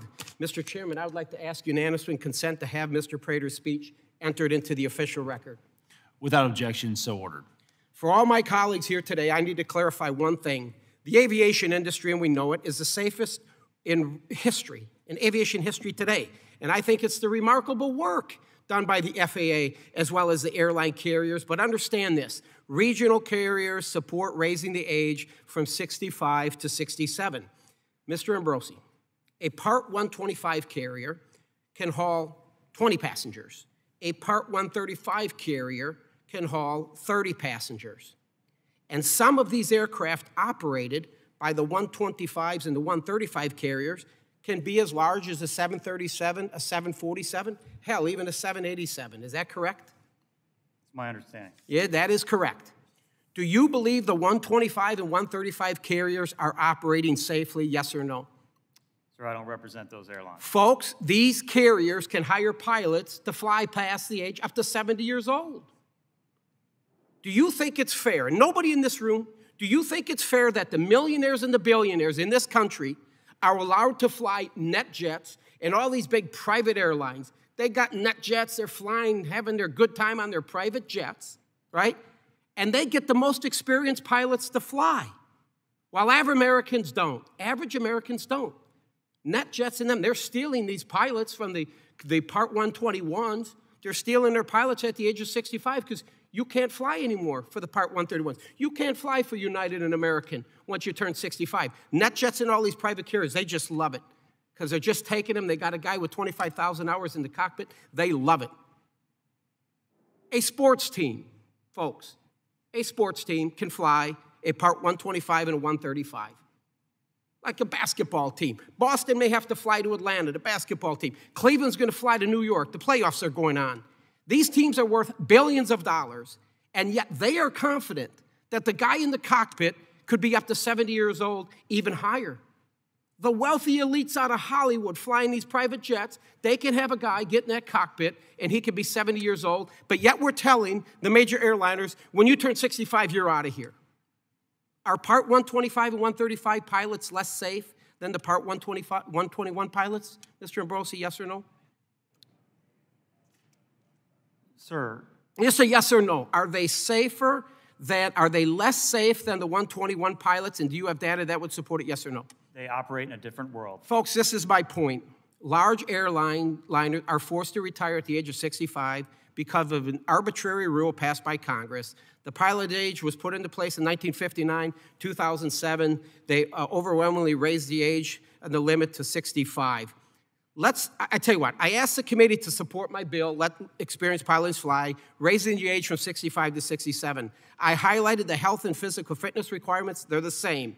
Let's show support for the regional airliners by raising the age 65 to 67. The regional airliners are asking for our help, and it's the right thing to do. Miss Black, I will fight like hell to get this common sense approach and increase the age 65 to 67 in the FAA reauthorization. I yield back. Thank you, Mr. Nehls. The chair now recognizes Mr. Johnson for five minutes of, of questions. Thank you, Mr. Chairman, for holding this hearing, uh, you and the ranking member. And I want to thank the witnesses for appearing today and for your testimony. Since the Wright brothers first took flight on December 17th of 1903, the aviation industry has soared to heights that the Wright brothers could not have imagined. Aviation today is an essential component of America's global leadership, and Congress must stay diligent in ensuring that the aviation industry continues to set the gold standard for the world, thus ensuring continued economic growth in trade, business, and tourism.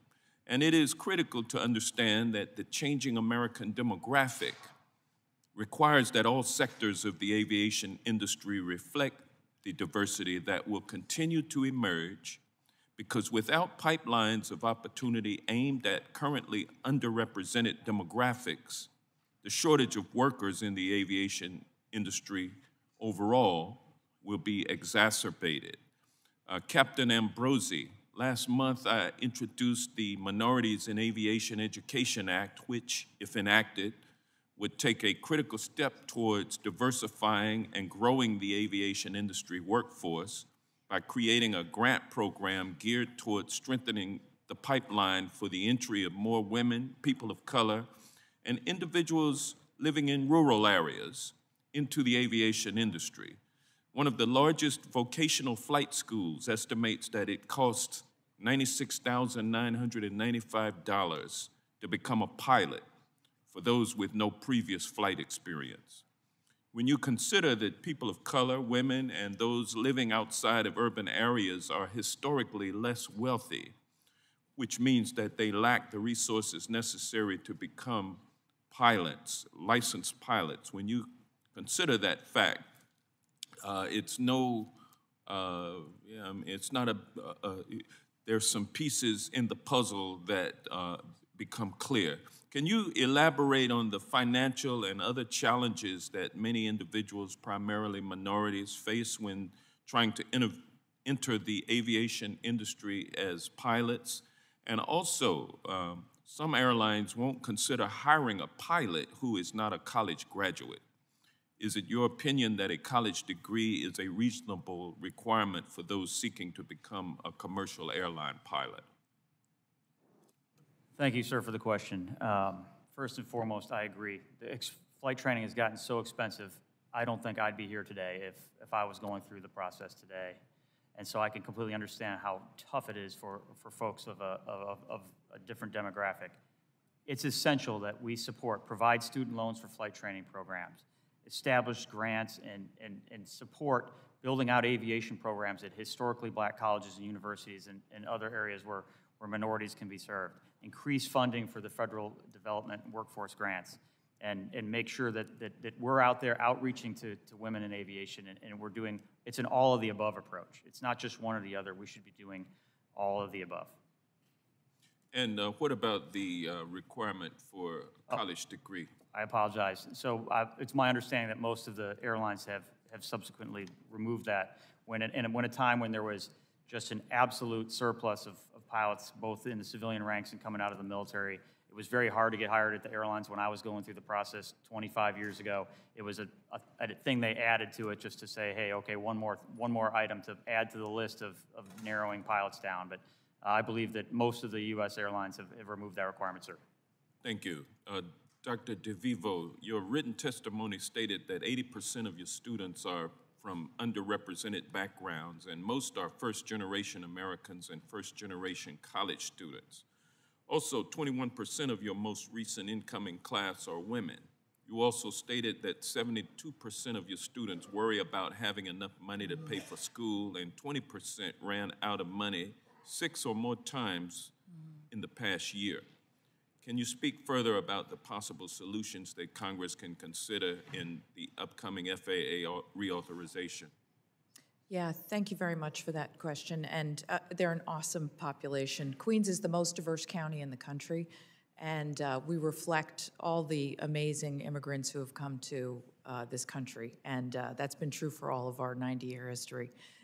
Uh, as I put in my testimony, you know, there are several um, federal grant programs. Uh, so doubling Pell is key to this. Um, And that's true for every student I serve, but many students across this country who could use greater support.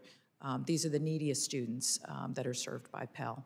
Um, I'm also fortunate to be from a state that is, is quite generous in terms of its state support, so that is helpful. The state support is, is often key um, to helping students get through um, the program of their choice. And then there are, there are other ways. Um, The Flight Education Access Act will specifically help flight students. Um, Oftentimes, our students don't qualify um, for the loans like Parent Plus loans, which offer much better interest rates, because either their parents don't have a credit background, or their, um, or their, um, their credit scores are not good enough to get a, a loan. So this would actually help provide subsidized and unsubsidized loan rates at interest rates that are much better, and then they could qualify for income repayment, which would be more, more affordable as well. Thank you. uh, Thank you, Mr. Chairman, Johnson. For your indulgence. Here, You're back. not a problem. Thank you, Mr. Johnson. I'd now like to recognize Mr. Stauber for five minutes. Uh, Thank you very much, Mr. Chair. And um, to all the witnesses, thanks for your testimony, and we appreciate uh, uh, being able to say that uh, flying um, the skies uh, is the safest uh, form of transportation. I have the privilege of doing it at least twice a week. Uh, Mr. Ambrosi, can you speak a little more about some of the accessibility issues to careers in aviation that you have observed? Yeah, like, I- like I said previously, sir, uh, the cost has gotten to a point where I don't think I could be in this position today. So we need to address that, and we need to address bringing more people into this great profession. Being an airline pilot today, now that, that, that we're in a post-pandemic environment and we're bringing up pay and working conditions uh, to where they should be, this is a great time to be an airline pilot. We need to make sure that access is out there for everybody. So, uh, like I said, fe- federal student loans, grants, let's make sure that we, we get out there and, and um, get the resources to historically uh, black colleges and universities and minority serving institutions so that they can, they can get the resources they need to, to encourage our next generation of, of, of pilots, mechanics, flight attendants, everybody get, in, get involved in this, in this great profession. And a follow-up, would allowing the FAA-certified commercial pilot and aircraft maintenance technician schools to qualify as an expense for existing 529 plans lower this barrier? I think that's a spectacular idea. I would, we would support that 100%. And I'm grateful to Congressman Collins for introducing the Aviation Workforce Development Act to help make aviation education more accessible. And as a co-sponsor, I look forward to championing the bill across the finish line during the FAA reauthorization.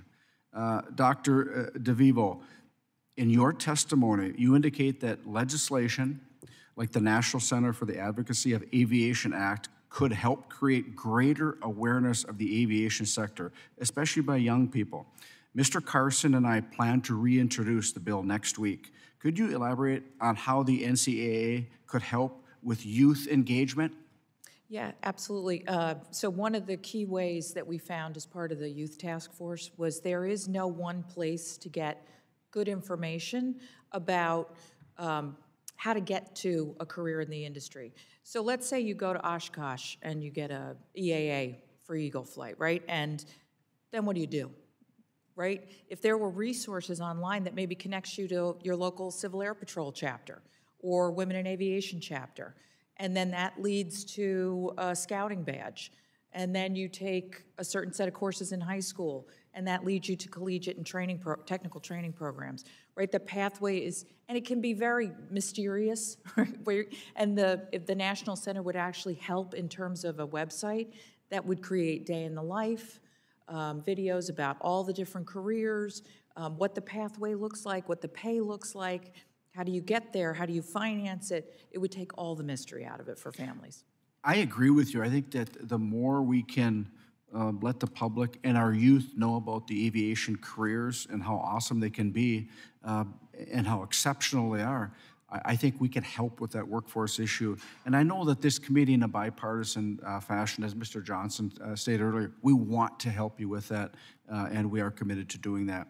You know, I appreciate the opportunity to work with my colleagues uh, to improve the workforce pipeline and inspire more people to work in the aviation industry during the FAA reauthorization.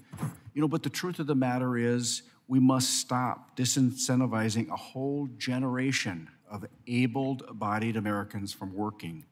Now, nearly every industry is suffering from workforce shortage. We need to return to a society that values the dignity of work and rewards effort. Only then will we see the real changes we all desire. Mr. Chair, I yield back. Thank you, Mr. Stauber. Uh, and now uh, for five minutes, Mr. Garcia. Thank you, uh, Chairman, and uh, thank you to all the uh, witnesses uh, this morning. Uh, my first question uh, is to Captain Ambrosi. Uh, as you stated in your testimony, the number of ATP certificates issued each year between 2017 and 2022 increased by more than 100%, which is great.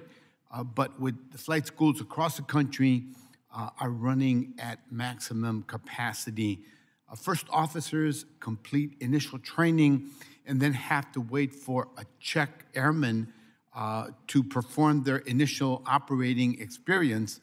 Uh, once online, the first officers are underutilized due to the imbalance in captains, first officers, and check airmen.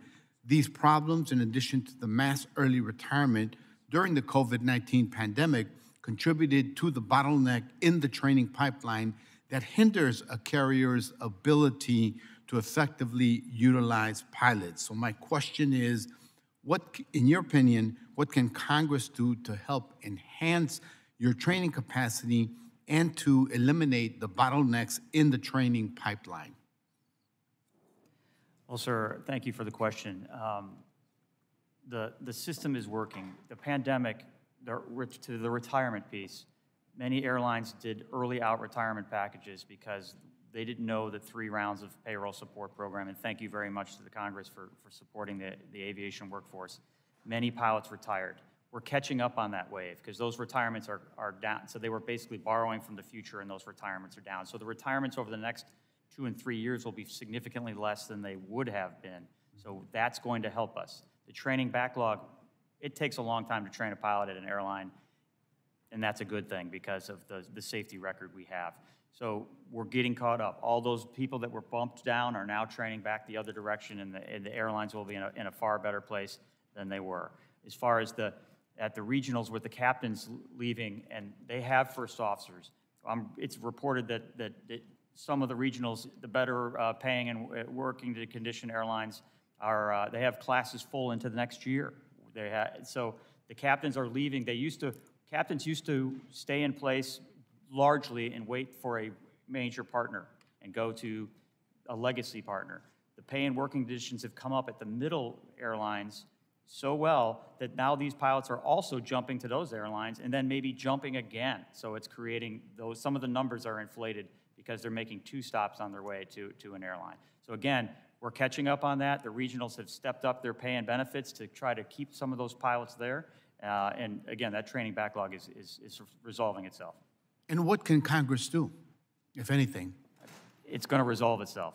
I don't, I don't think any action is required, sir. Other than, like we talked about on the, on the getting more people of diverse backgrounds interested in aviation. The pipeline's full. Let's make that pipeline more diverse and, and have, a, have, a, have every pilot, have every demographic represented. Okay. Thank you, sir. Uh, and Ms. Black, uh, how are your member carriers planning to right-size staffing to ensure the effective utilization of the pilots that you have or hire?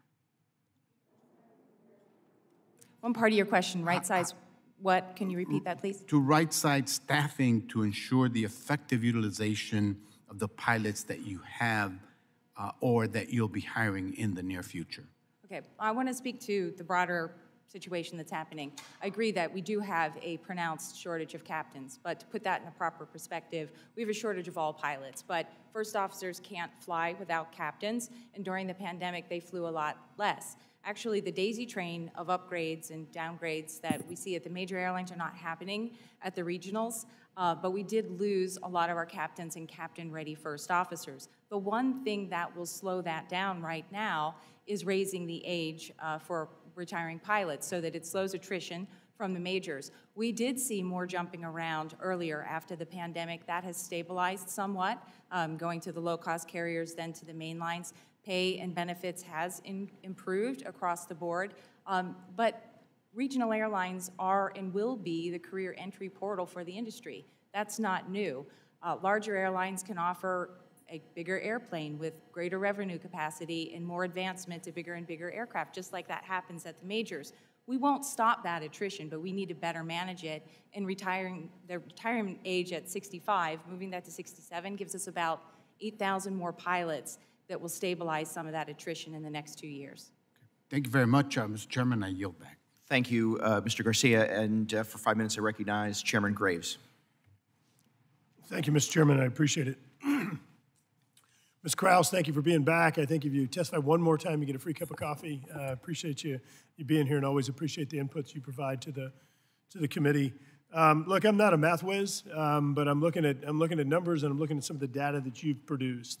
And um, so, so if, I'm, if I'm understanding all this correctly, um, that, that um, FAA is, is predicting that the, the number of pilots holding an ATP, an airline transport uh, pilot certificate, to increase by about 30,000 over the next 20 years, which is a 16% increase. All right. So then, over the same period, uh, they're projected that passenger enplanements are forecast to grow um, an average of 4.9% a year, um, or a 98% increase over the same period of time. Um, U.S. mainland carrier fleets forecast to grow from uh, 3,132 to 5,532, uh, a growth of 3.8% per year, uh, which converts to a 76% increase. All right. So I'm going to say it again, not a math whiz, but I'm looking at 98% increase. I'm looking at a 76, 98% increase in demand for pilots, 76% increase in, uh, excuse me, passenger enplanements was the first one. Second one is airplanes, um, 76% yet, 16% increase in, uh, in ATPs or, or pilots. Um, am, I, am I missing anything? We have a pretty significant disconnect. Yeah, some of the um, some of the differences is a little bit in how the forecasts are done, and also um, when you're looking when we've looked at FAA's activity forecasts, like the employment ones that you were mentioning, they have consistently been overestimated. So overestimating greater demand because they are unconstrained in that they don't take into consideration things like does this is this growth impacted at all by things like airport capacity? And so there is, there is some difference there, as well as um, you know the pilot supply numbers then are, are, you know projecting off of historical and other data. So that that explains it a bit in terms of the differences. Um, but but safe to say that even if you were to include margins of error and others, that that we've got a problem moving forward. I mean, I think you know this this industry um, and the growth of this industry is really dependent on the growth of the workforce. So I think that you know that's something that's important to focus on. So then, so then, when you when you add in the fact that that we're looking at uh, advanced aviation systems, you, you have got uh, advanced urban mobility, um, even remote piloted vehicles. Um, uh, that doesn't help, right? I mean, that just further exacerbates the, the challenges that we're looking at moving forward that that's exactly what we heard when we talked to folks about and a range of stakeholders about advanced air mobility and some of the challenges that they face, which is some of these same workforce challenges that the traditional aerospace sector faces. They will also face that in addition to new skills that these workers will need. Great, thank you. Um, uh, Ms. Uh, DeVivo, in your testimony, you indicated that the single largest hurdle to becoming a pilot is, is the resources. And I, I want to thank uh, Mr. Collins uh, jumping in as a freshman and, and, and working on solutions to this issue. He has legislation to help address this, and I certainly appreciate him jumping right in in the first few weeks and, and coming up with solutions. But um, uh, how would expanding the use of, of simulator technologies um, uh, potentially affect the financial challenges? And, and I'm curious if you could just talk on the safety side as well, which is obviously really critical. Um, could you could you respond to that, please? Yeah, exactly, uh, absolutely. So um, part of the reason why the task force recommended this is because um, simulator time is a lot less expensive than flight time, and if you um, are not flying consistently, I'm talking three times a week. It will cost you much more because you have to repeat the last thing because you're just not well. You know, you're working on your um, this, this idea of being able to consistently fly is really important. If you were to expand the number of simulator hours that were uh, um, available, then students could be practicing at a much cheaper rate, which makes that flight hour in the, in the, in the, um, in the plane that much more efficient. So we were not trying to suggest a change at all in the number of hours to achieve certification. sure, sure. Just the efficiency of getting to that certification and, and um, uh, not having to require so many hours in the plane. Thank you. Ms. Black, very quickly, um, do you think that your member companies would, uh, if we were to, to raise the simulator hours, do you think that you could actually improve safety? Should your member companies believe you could actually improve safety? Yes, thank you for the question. We, we, we don't think so, we know so. Um, it comes down to how that time is spent. You know, when we talk about having more or less, it's really important that we ask more of what. And when we're allowing our pilots to qualify primarily through hours-based pathways, we don't know well, what they're doing, uh, but, but, the, but what we can see that they're doing is flying in light aircraft in fair weather. We know exactly what they're doing in a simulated uh, program, and so that increases the level of safety substantially. And thank you, Ms. Black. Mr. Chairman, you're back. Thank you, Mr. Graves. Uh, And now for five minutes, I recognize Ms. Scholten. Thank you so much, uh, Mr. Chair, and thank you to all of our witnesses for being here today. Workforce development in the aviation and aerospace industries is a key priority of mine uh, in this year's FAA reauthorization. I appreciate the opportunity to hear from all of you about the challenges and also the opportunities in this sector. Gerald R. Ford International Airport, the, uh, one of the uh, major airports in my district, has a unique arrangement with the West Michigan Aviation Academy, a school that's located right on the grounds of the airport and focuses specifically on creating uh, graduates who can go on to work in this field. It's really remarkable. We invite all of you to come out uh, and visit it sometime. We're so proud of it. Getting more youth in the industry will be critical to maintaining our competitiveness in the years to come, as we've talked about. Uh, we talked about changing some of the culture around uh, education and training here. I recently introduced a bill that tracks the way, or changes the way the census tracks higher education from not only recognizing uh, two and four year college degrees, but certificate and training programs uh, like this one. My first question is uh, for Dr. DeVivo. Uh, can you please elaborate on your experience as chair of the Youth Access uh, to American Jobs and Aviation Task Force? And what recommendations specifically do you have for Congress uh, to take immediate action for implementation and, and guiding this through the implementation process? Yeah, so it was, it was an awesome two years working with uh, 21 members from trade associations, industry, educators, nonprofits, all doing really good work. And we knew we were not going to invent the next greatest program. It had already been invented. it, the idea was how could we scale it? And so what we tried to do was identify, you know, the major barriers and then provide solutions. So the two biggest barriers are awareness and finances uh, especially to under-resourced uh, and underrepresented communities. And if they knew about the, the opportunities, which are transformational, I can attest to that at my institution, that more people would pursue it, right? But because they don't have an uncle, brother, somebody in their family in the industry, they don't know about it, right? So we tried to give, you know, both very actionable, you know, put more resources in libraries, all the way to, you know, could we have a national aviation scholarship program? Right. I think the areas that um, FAA reauthorization could really help with was, um, you know, the conversation can't end with our task force or the Women's Board, which I hope you're familiar with as well. This idea that we need to keep the conversation going, but not just at the national level, but also to do it at the regional level as well. So we had proposed, you know, use the nine regions of the FAA, use the AVSA, the Aviation and Space Education Office, they have representatives in each district, put together industry, higher ed, training programs, nonprofits. Let's at least start to share resources, share students, yeah. you know, and reach Boys and Girls Club, Scouting, get all of us in the room talking about how we serve our regions. Then have whoever, have a representative go to a national advisory council that would look at metrics of success and make sure that that information was always being fed back to the FAA. Yeah.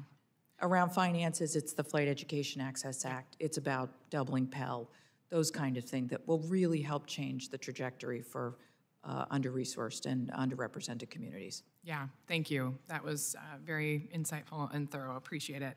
Um, I have a, a follow-up question for uh, Captain Ambrosino.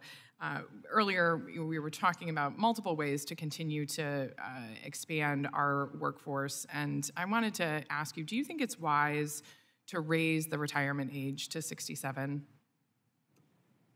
So, thank you for the question. Yes. Um, the European uh, regulators have studied this and they have recommended against it. So the Europeans are, uh, have studied the, the decline with age and are against it. Uh, the current limit in ICAO internationally is 65. The difference last time when we were at 60 going to 65, ICAO was 65. So going to 65 instantly got you five more years of airline pilots.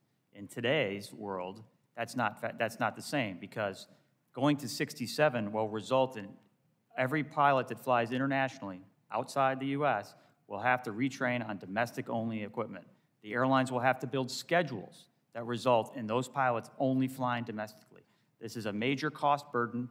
Not only will it, it do that for the airlines and create a more headache for them, for pilots that choose to stay, you will also have the issue of taking training slots in a much needed training backlog for those pilots to train going down and then leave two years later, which is a slot that someone that could do the next several years for that company in that position.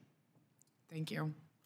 Thank you, uh, Ms. Sheldon. I appreciate that. I uh, now would like to just recognize myself for five minutes uh, and thank you all uh, for uh, testifying today. I know that we've covered uh, these topics ad nauseum this this afternoon. Is it afternoon yet?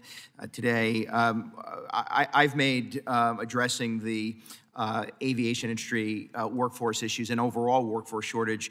I've made the workforce development grants a, a principal priority for me as we consider FAA reauthorization. Uh, and of course, uh, in an effort to seek increased funding. What I'd like, I'd like to start uh, with you, Dr. DeVivo, and I know that you kind of taught, have spoken to this several times already, uh, but to, just to re-emphasize, uh, I, I, know that you generally agree with uh, the, the, the desire to increase funding to workforce development grants. Could you just speak a little bit more um, uh, as to the benefit uh, to advancing uh, uh the workforce development and addressing uh, the shortage within that pipeline. Yeah, absolutely. So, and I will say that we, my institution was fortunate to get one of those grants on the pilot side, and we are actually doing uncrewed aerial systems work. So, um, remote pilot work, which is really exciting. You know, the issue is is that 10 million is is clearly not enough for the whole country, right? And um, we would really love to see um, that funded at a, at a 50 million. At the same time, please help give the FAA the operational funding to oversee the implementation of those grants. Um, I think it was a bit of a challenge, and if we were to move from 10 million to 50 million, I think they would they would need some more operational help.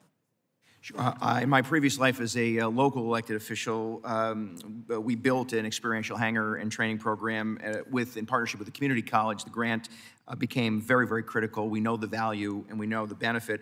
I, I represent a portion of uh, the state of New York uh, with smaller regional airports, in particular uh, uh, Ithaca and Binghamton, uh, New York, where sadly we've seen, certainly because of workforce issues and others, um, a decline in, in, in, um, in both capacity and, and, and who takes advantage of or makes use of those particular airports. I've in my short time on the subcommittee, um, I've become a, a, a, bit more interested and, and focused on advanced air mobility, AAM, uh, with the understanding that uh, the technology itself and the advancement uh, of AAM could provide greater access to those regional airports and perhaps, in fact, um, revitalize them and, and create uh, greater connectivity with larger airports. Ms. Krause, in your testimony, you talk a little bit uh, certainly about um, uh, uh, your involvement with industry stakeholders uh, in the AM space and specifically future constraints to expansion. Could you just uh, touch on those uh, constraints and perhaps how Congress might confront those uh, within the FAA reauthorization?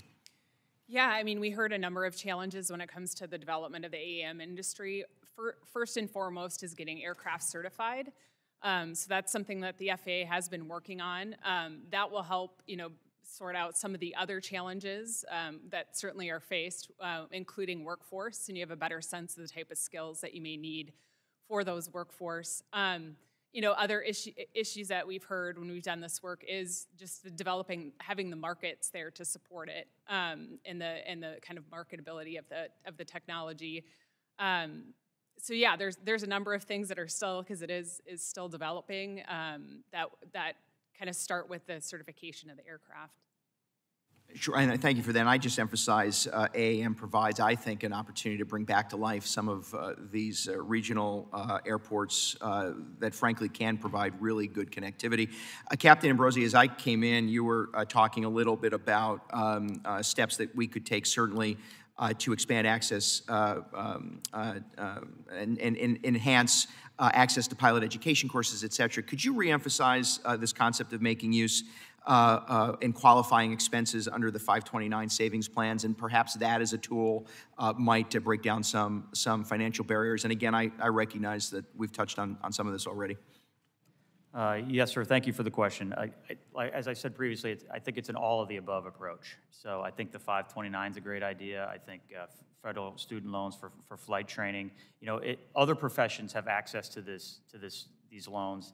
I don't know why our profession is, is any different. So we should we should certainly open the doors.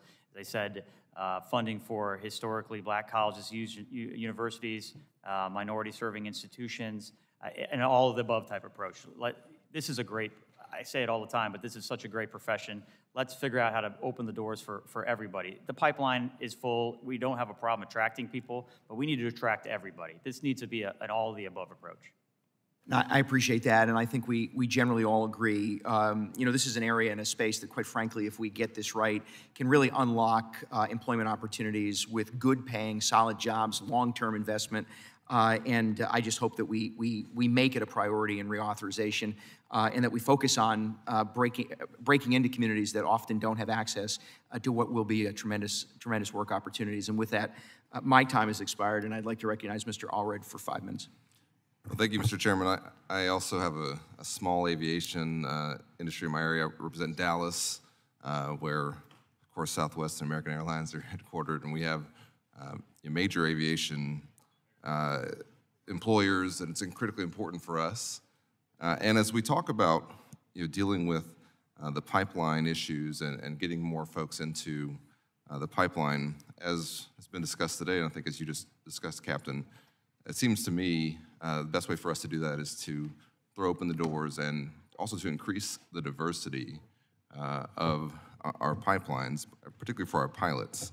Uh, to me, this is something I've made a focus of, of my time in Congress to try and um, introduce some of our talented youngsters uh, to this pathway. Uh, that also, of course, will help us bring more people into the profession, but also open uh, new avenues. and Dr. DeVivo, we've heard a lot about how your students and other prospective pilots are having trouble paying for school and mm-hmm. run out of funds and, and can't qualify for loans. Uh, I'm working on legislation right now to, to increase uh, the caps on student loans for folks attending flight school. I wonder if you could discuss how that would help uh, to increase the diversity of the students uh, and the folks seeking uh, to get into this profession. Yeah, absolutely. Thank you for the question. So many of our families can't qualify for a Parent Plus loan because they either don't have the credit history or they don't have the credit score to qualify, which means they have to go to the alternative loan market where the interest rate is quite high. I have a female pilot, a black female pilot, graduated with $90,000 in alternative loan debt at a percentage rate of 18%.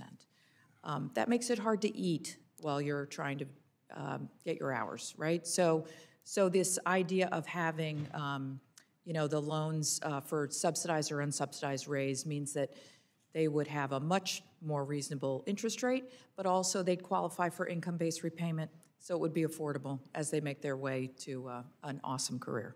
Absolutely. I think that's very important uh, to note. And uh, Captain Ambrosi, I know workforce diversity is an area uh, where the Airline Pilots Association has been very engaged, and I want to thank you uh, for that.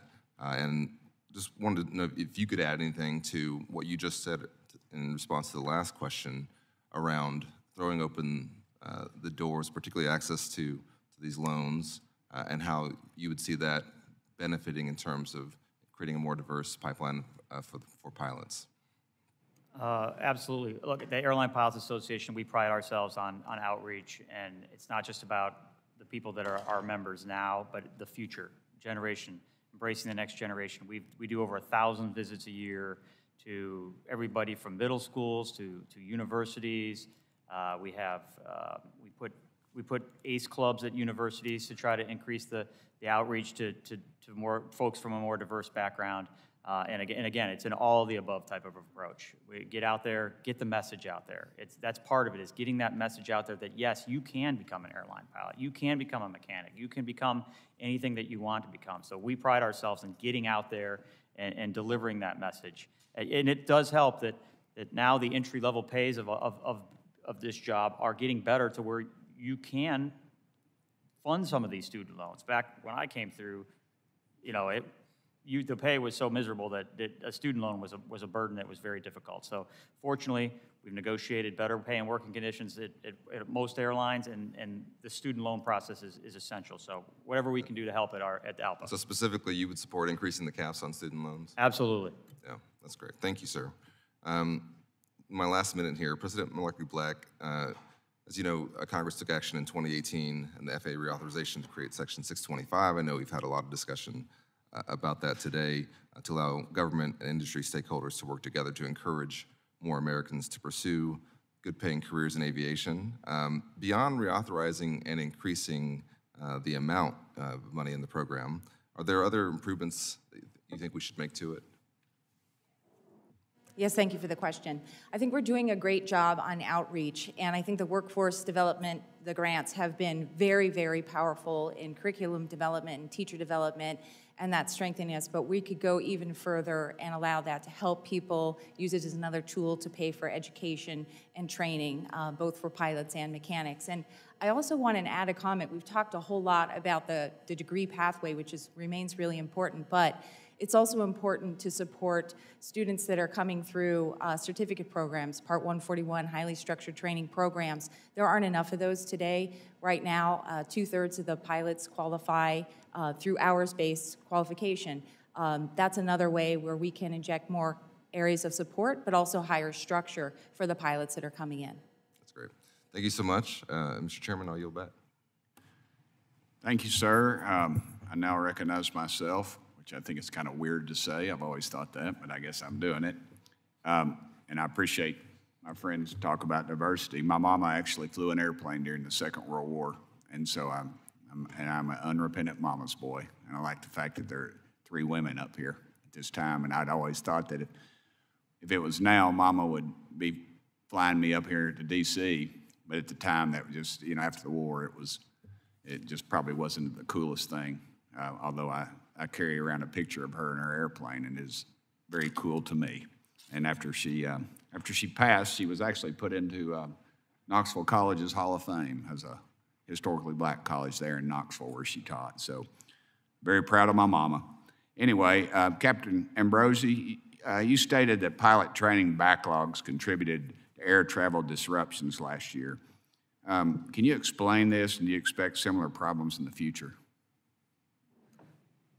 Thank you for the question, sir. And I have a daughter who's eight, and I, I hope she gets into this, this profession as well. Uh, it's a great one. But I have a daughter who's 15 who rides horses. I wish she'd taken up motorcycles. It's cheaper and a lot safer. Go Uh, right ahead. If But my I daughter's watching, I'm going to ask her to take up motorcycles and not horses, so because I understand where, what you're going. Yes, sir. But um, look, let's let's make no mistake. Last summer, the airlines overscheduled. They they had airplanes available uh, because of the pandemic and the training backlog and the fact that they had displaced so many pilots. Uh, they had to be retrained. Uh, they had available airplanes. The passenger demand was there. They said, "Hey, let's let's go to the nth degree to try to to get these people where they want to go," and they overscheduled. Uh, we're getting caught up at the at the the the, the big airlines have more pilots than they've ever had by thousands, thousands more than pre-pandemic levels. So uh, can So I? you don't expect that to be a, happen in the future, or is there a caveat, as we say? If I had a crystal ball, I'd buy a lottery ticket. But I would tell you that I think um, that's the, the ball's in their court. Uh, they have a lot more pilots, and they they should be fine this summer. But the ball's in their court. If they decide to go, let's push it just that extra X percent to, to maximize revenue, then then we could have a problem. But they're certainly in a better position this year than they were last summer. I hate it when they push it when I'm trying to get back to Knoxville.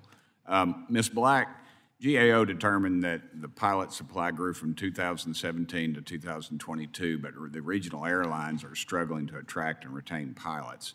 What's being done to encourage the employees to stay with these regional airlines? Thank you for the question.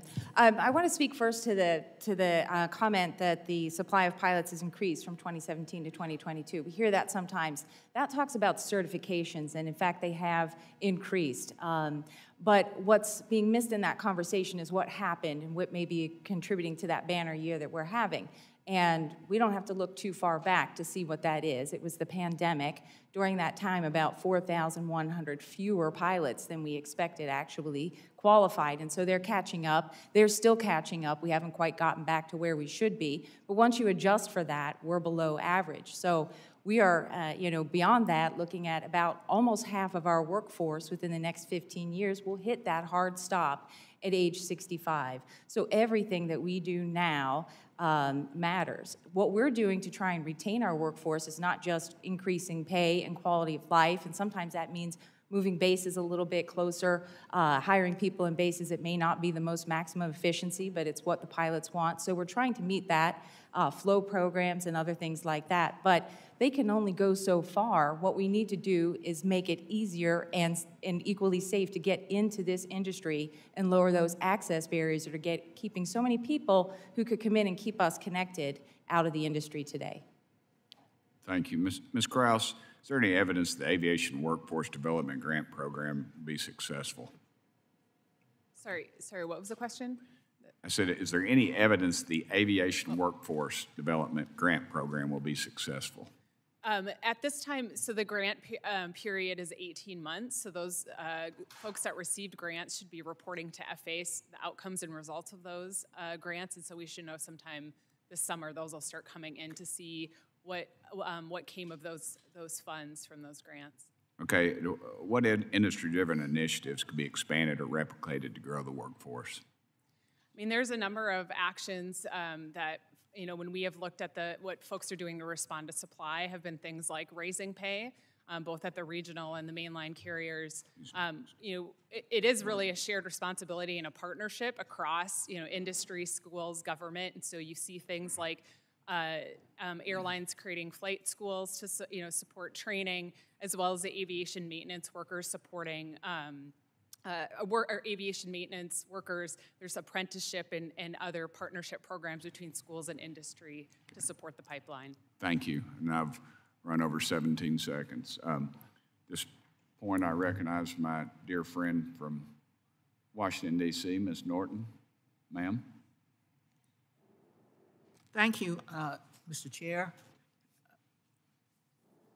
Dr. uh, DeVivo, uh, in your testimony, you highlighted the need for outreach to diverse communities to address workforce challenges. As you may know, Black Americans account for just 6.2% of aviation workforce and 2.6% of pilots and flight engineers.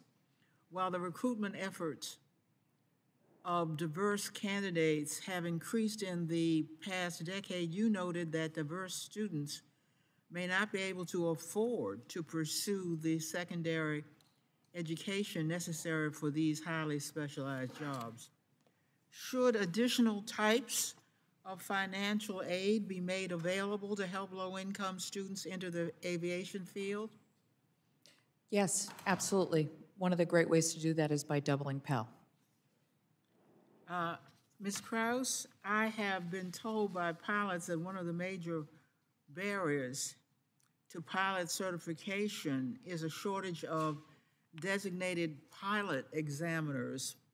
Flight students who have completed the requisite education requirements still have to wait to display their knowledge in exams because there are not enough examiners to account for all the students. Does GAO, have any statistics on recom recommendations related to designated pilot examiners and their impact on the current workforce challenges? We've certainly heard that as an issue, um, but we haven't looked at it specifically. Would be happy to work with your office to get some additional information. I would very much appreciate that. Uh, Mr. Thress, uh, training costs are a major barrier in pilot recruitment. could utilizing flight simulators in more educational institutions decrease costs for students? Uh, Yes, uh, the, the cost to operate a simulator is usually uh, significantly lower than operating an actual airplane. And simulators can also serve as a, uh, what we call a rehearsal mechanism, so that time in the actual airplane is more valuable. Well, we certainly need to get on that. Thank you, Mr. Chairman. I yield back. The chair would recognize Mr. Collins for five minutes. Thank you, Mr. Chairman. Uh, the cost of training for commercial pilots is substantial, and that's why I introduced uh, H.R. 1818, the Aviation Workforce Development Act. This common sense bill will make education costs at FAA certified pilot and aircraft maintenance technical schools a qualified expense for 529 plans. And I want to thank uh, Chairman Graves and Ranking Member Cohen for their co-leading and help uh, in this effort with me and the bipartisan group of 30 members and numerous stakeholders who have endorsed this legislation. Y'all, it's a simple bill. All we want to do is give aspiring aviators and aircraft mechanics the same tools to train for these vital careers as those seeking four-year degrees. Captain, I'm grateful for ALPA's support for this bill. And can you just specifically, can you tell the committee how this policy will contribute to a steady supply of commercial pilots? Absolutely, sir. Thank you for your, your leadership. Uh, Anything that can lower the barrier for entry is a good thing, all above approach. So adding, adding this to the, to the suite of products that, are- are things that we're doing to try to lower those barriers for entry is, is a good thing. Thank you. There, there's actually over 13 million people with a 529 savings plans. So, um, Ms. Black, I'm also grateful to have the support of the Regional Airline Association. The Aviation Workforce Development Act unites the aviation community, including industry, labor, education, and flight training associations. Can you tell us how HR 1818 will make pilot and mechanic training more accessible and therefore help the airlines meet the growing demand for air service? I, also thank you for your leadership on that and uh, the other programs.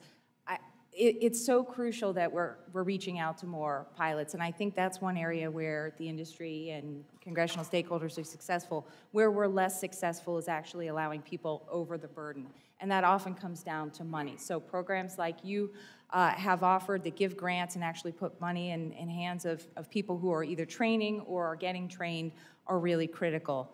Um, it's also important that we give people uh, access to the best training and um, and making sure that the things that we're doing are not just focusing on the career path. In fact, most pilots, uh, the, the degree pathway, in fact, most pilots that uh, qualify newly already have um, college degrees. So everything we're doing needs to look not just at the very valuable degree pathway, but also at the other uh, certificated and uh, accredited institutions that are providing training. Thank you. Thank you. That's all I have, Mr. Chairman. I yield back. Thank you very much, Mr. Collins. Next up, oh, is uh, Mr. Payne. He's recognized for five minutes. Uh, Mr. Chairman, I thought Mr. Carbajal was. It's okay. Go ahead. Not the next stuff up. All right. Thank you, uh, Mr. Chairman. Um, let's see.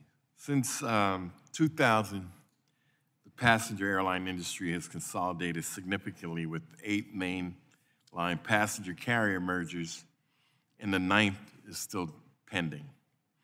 Over the same time period, there have been um, three outside events that had disproportionate impact on the airline industry. Uh, September 11th, the great COVID recession, the great recession in COVID. Uh, against that backdrop of these disruptions, people looking at career pathways could be uh, forgiven for choosing an industry that seemingly provides great, greater stability and isn't on the front line of layoffs and economic downturns. Uh, Ms. Faye, um, um, Malarkey, uh, Black. Ms. Black, how do you uh, help prospective employees, employees feel confident in choosing a job in the aviation sector? I think that comes down to the health of the industry, um, and it's all interconnected. The health of pilot careers, and not just pilot careers, but the other individuals who lose their jobs and we don't have enough pilot, depends on a healthy industry. And so do the communities that uh, regional airlines exclusively, exclusively connect. And so I think we focus on a, sa- a safe and a health and a strong um, environment for, for our airlines. We were extremely grateful for the leadership of this committee uh, and Congress in the payroll support program. It saved our workforce. And you also leaned in hard to make sure that regional airlines, which look a little bit different from the majors, were able to access it. And for that, I thank you. Thank you. Uh, the importance of a diverse workforce is not just a matter of equity, but also improves the overall operations of the aviation industry. Um, Captain Ambrosi, um, can you please share with us how recruiting a diverse uh, workforce improves the safety of airline operations? Yes, sir. Thank you for the question. Having a, a, a diverse workforce is essential. Uh, we are doing, we have over a thousand visits a year to, from middle schools on up, trying to encourage the next generation of pilots to getting into this. This is a wonderful job, as I've said ma- many times. It's a great profession. And, and fe- federal loans, grants to, to, to uh, build aviation programs at historically black colleges and universities and other minority serving institutions. Uh, 529, I mean, it's, it's an all of the above type approach. So doing that will, will certainly help bolster our workforce moving forward. Thank you. And um, you know, it's just it's just a matter of necessity these days that uh, we look to diversify this workforce. Um, you know, we're running out of, of the normal people that have been able to get these jobs over decades, and uh, the people that are in this position to potentially move into that um, position look a little different than than the workforce of the past. So it's it's just necessity in numbers that uh, we diversify. And with that, I'll yield back. Thank you, sir. Uh, I'll recognize myself for five minutes. Mr. Ambrosi, I want to make sure I have a proper understanding of the kind of medical examinations that pilots go through. To my understanding, there's a routine medical examination every six months. There's an EKG every 12 months for pilots over 40. Then, of course, you've got the, the regular recurring training and qualifications regimen. Is that right? That's correct. So, uh, commercial airline pilots are forced to retire today at 65 you can be older than that and be a 135 operator, right? That would be chartered jets, uh, corporate jets. Is my understanding on that right? It is the exact number of passengers you can carry. I, am not sure, but yes, in a general okay. nature. So, it, do we have a do we have data-based evidence that tells us that 135 operators between the ages of 65 and 67 are more dangerous than 135 operators between the ages of, say, 60 and 65. Is there, is there, a, data, is there a data-based evidentiary record for that?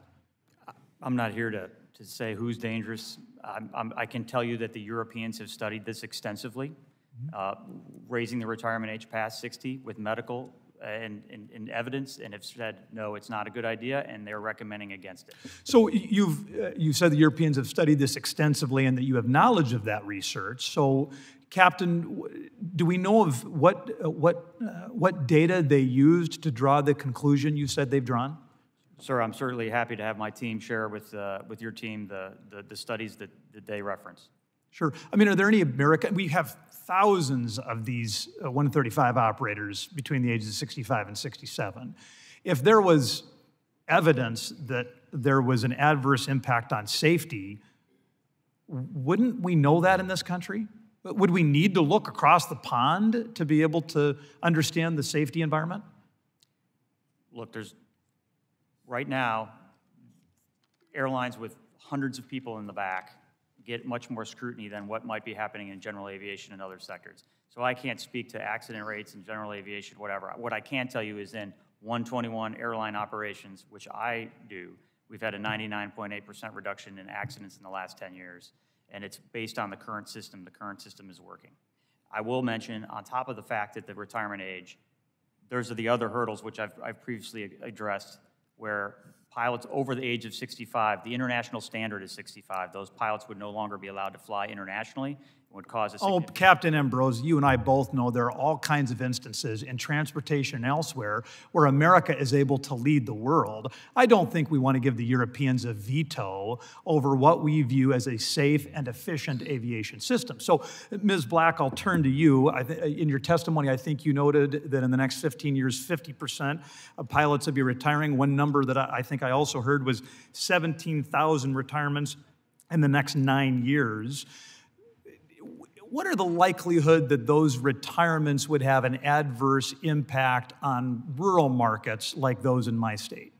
They will hurt rural markets first and worst, just as the retirements and the other attrition has hurt rural markets first and worst uh, under the existing pilot shortage. And I would be remiss if I didn't mention a couple of things about the safety record of older pilots. These pilots are not operating in a different world. They're operating in our country. They're flying over your schools, your churches, your synagogues. They're in our system and they're flying safety.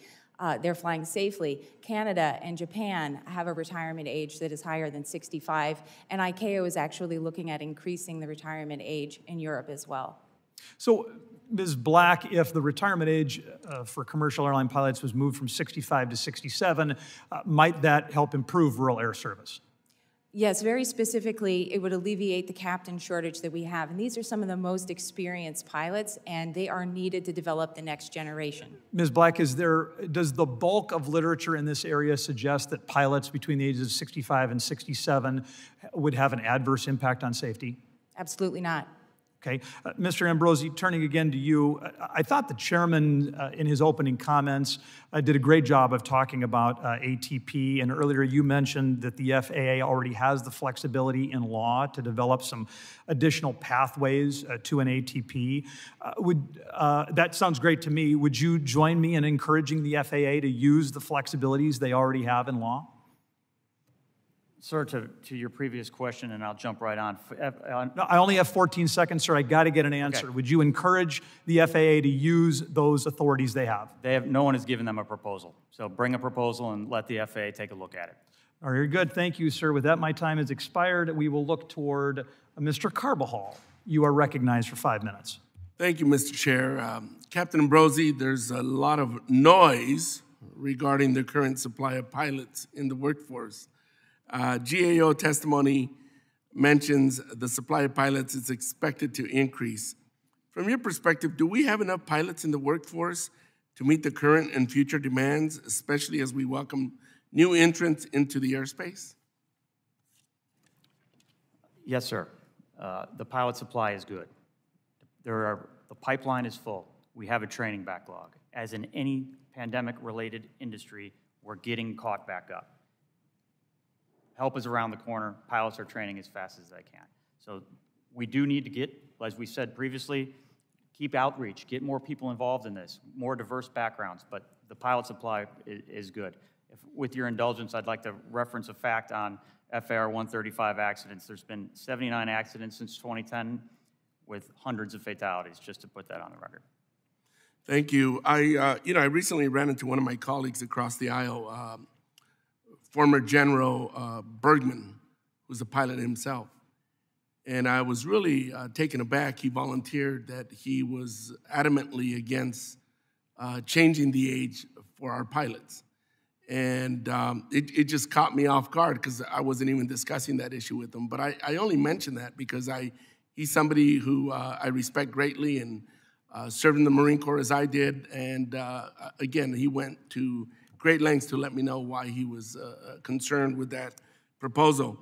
Um, Mr. Thress and Captain Ambrosi, can you identify and describe any conditions, factors, or scenarios that flight simulators do not capture that real world flying does? Uh, there are certainly some scenarios and some uh, physiological effects that the simulator doesn't capture. So, one would be the effects of G's. Uh, so during a, um, an unusual recovery uh, in the simulator, you would still only feel one G on your body, whereas in the airplane you may feel four or five, which can be disconcerting if you're not accustomed to it. So that'd be the first thing that comes to mind. The second thing is we simulate rapid decompression and emergency descents, um, but we do that through aural cues and uh, the cues provided by the aircraft's annunciation system rather than your ears popping and the other effects of actual change in pressure. Those things are done in another simulator called an altitude chamber. Thank you. Captain? Uh, Thank you, sir. In, in addition to the, the items Mr. Thress discussed, a simulator can't be programmed for everything. So there are real-world situations. But let's point out that most obvious thing that a simulator can't do. Give you that, I could perish if I don't do the right thing thing. Because a simulator, you can always get out, reset, and, and walk away, which you can't do in a real airplane, in real airspace. Thank you. Um, Ms. Krause, your testimony cites that although women represented 47% of the total U.S. workforce in 2021, only 17% of the pilot students are women. I, obviously, I think we can do a better job of encouraging women to join STEM careers. How can we do better, a better job of ensuring our aviation workforce is reflective of our nation's diversity, including women? You know, uh, the issue of diversity is really a shared responsibility with, you know, the government, industry, and um, the schools. Uh, you know, I think there, as Dr. DeVivo referenced, you have a couple of task force reports out there with a number of recommendations to the Congress, to FAA, to industry. Um, important to kind of take a look at those, the different parties, and see see what might be implemented. On the FAA side, they've shared with us that they plan to start looking through those recommendations, figure out how they might implement them, and then track them on their website. Thank you, Mr. Chair. I yield back. I thank uh, Captain Ambrosi for sharing his information regarding 135 operators, and I know we want a full and complete record, so I would just ask afterwards you follow up breaking down those incidents by pilots between the ages of 65 and 67 and that rate versus pilots who are younger. With that, let's go to Mr. D'Esposito of New York. Sir, you are recognized for five minutes. Well, thank you, Mr. Chair, and good afternoon, everyone. Thank you for being here. Um, as you may or may not know, uh, Long Island is a proud host of the N90 TRACON. It's uh, actually nestled in the, uh, the, north center part of, uh, of my district. I visited there a couple weeks ago, met with uh, the individuals who uh, run that facility, and it was definitely eye opening to the aviation industry. Um, but as we've discussed today, unfortunately, the nation's workforce challenges deeply have affected the aviation community. Um, and on the topic of the current and future challenges facing the aerospace workforce, uh, air traffic controllers play a vital role in ensuring flight safety and efficiency. There is an air traffic controller shortage uh, that has been overlooked, we believe, for far too long.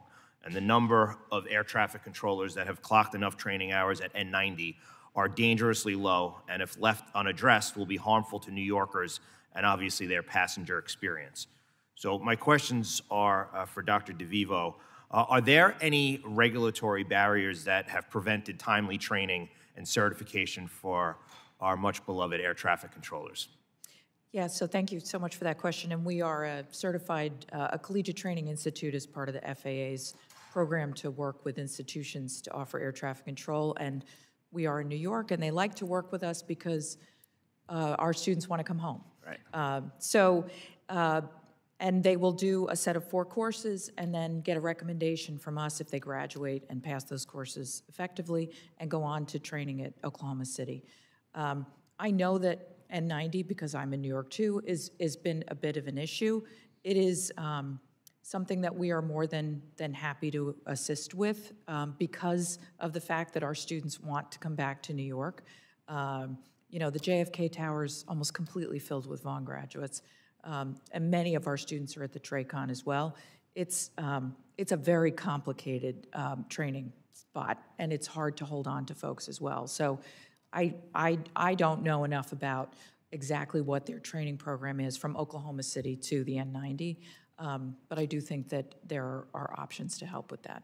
And it's good to hear you say that they want to come home because I know that we're working hard to make sure that we keep uh, the 30 or so air traffic controllers that have uh, been asked by the FAA to move elsewhere uh, to stay at that facility. So that is, uh, I think that's what we all want for them to come home. Um, and obviously, has the has the current workforce challenges? How it is? How has it affected your institution? Right. So we've uh, lost about 26% of our enrollment since the start of COVID. We were on this nice uptick as the demand increased, Uh, and COVID hit our families really hard. As you know, New York City was particularly hard hit by COVID. Our zip code was one of the hardest initially hit. And so our families, whose average family income is anywhere between 34 and 42,000, um, they lost their jobs. They lost family members who died because of the coronavirus. And so education was not something that they were able to do. So we've had quite a few stopouts. But we are starting to see the, the, the, the enrollment come back. The salaries certainly help in terms of encouraging uh, students to, to consider aviation and aerospace as a career path. Yeah, and so I guess to that point, have there been any changes that you've made at Vaughn to attract new students and to, to have that uptick once again? Yeah, so we really, really work hard to sell the return on investment, right? So we are talking a lot about a defined career pathway. That's why our students come to us, right? Because their students and their families want to know what's the job at the end of this. Um, when can I, um, you know, start to see some income from my family? And you know, we're not just changing that student story; we're changing that whole family's trajectory. Uh, and so, having the ability to talk about the demand, which thankfully the media covers for us, has been hugely helpful in terms of attracting students to the programs. Great. Well, I appreciate your work, and obviously, uh, if there's anything that I can do to help uh, keep our people home and make yeah. sure that they stay working and living in New York, which is obviously very often burdened with uh, some high taxes. We want to keep them there. So I appreciate your work. Mr. Chair, I yield back.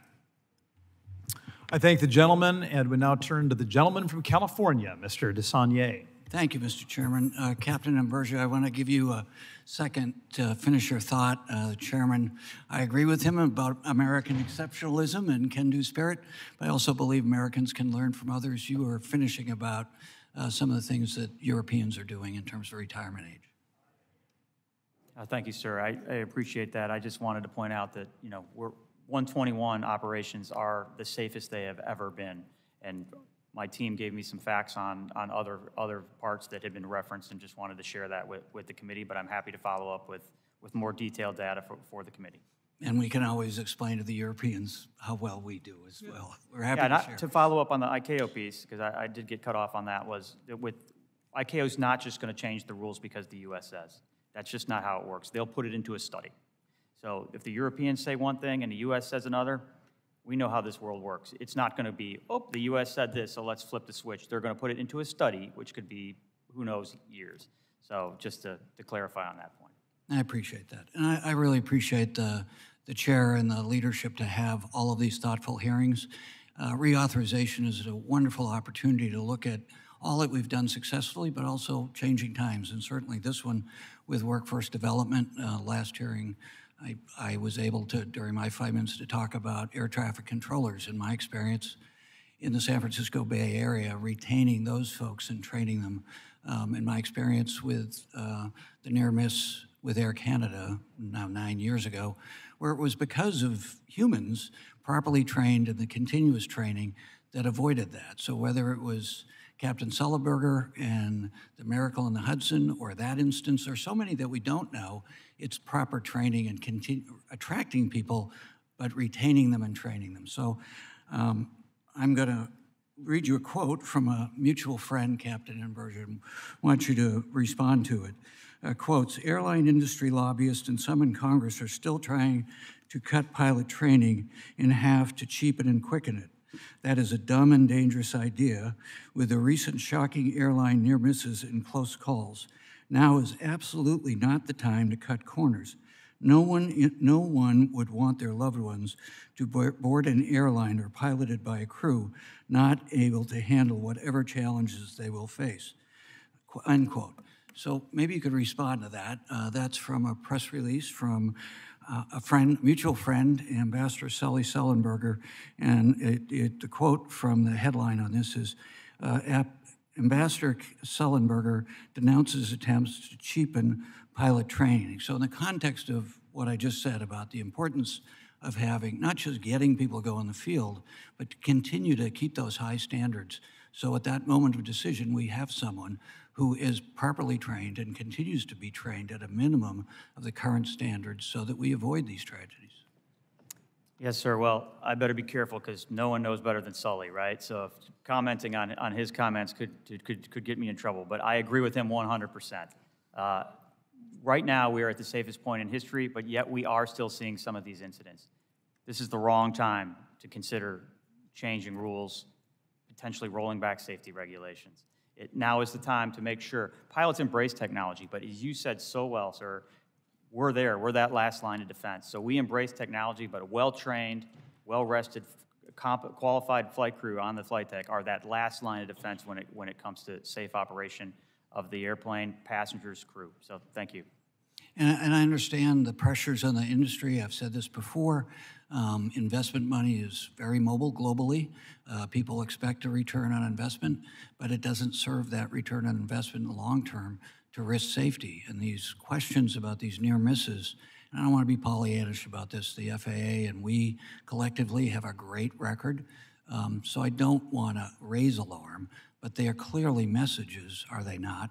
Uh, that they are, these are things that we should do root canal, uh, root, root canal, Freudian slip, uh, root causes that really get to the human factors in particular. There's a lot of pressure to push people through, and people want to travel. That's a good thing. Yes, the, there is pressure on the system, right? We have a lot of new, it's not just pilots. We, we focus a lot on pilots here today, rightfully so, because um, we're the most forward facing of, of the industry. But it's mechanics, flight attendants, gate personnel, people that work on the ramp, it's reservation agents, this whole system, air traffic control. Everything has a lot of new because of the post COVID environment. People left the industry, not just pilots now a lot of new people are getting into industry, so we need to redouble our efforts on safety, redouble our efforts to, to, to look at why those things are happening and work together, industry, FAA, labor, look together and say, hey, what are we doing? Do we need some more additional training? I apologize on the time. Thank you. I yield back, and if I hear from Captain Sullenberger, you can blame me. And the soft tap was just a gentle uh, notice. When you've got people as experienced as Captain Ambrosi and uh, the gentleman from California, you get an extra 15 or 30 seconds if you need it. So if you have, have another question. Yeah, so if you want to finish your thought, Captain, of course, that's fine.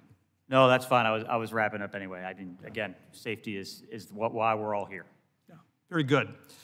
Uh, the gentleman yields back. Are there any further questions from anyone on the subcommittee who may not have yet been recognized? Seeing none, that concludes our hearing. I want to thank each of our witnesses for your testimony. You did a good job. This is not the easiest thing in the world to do.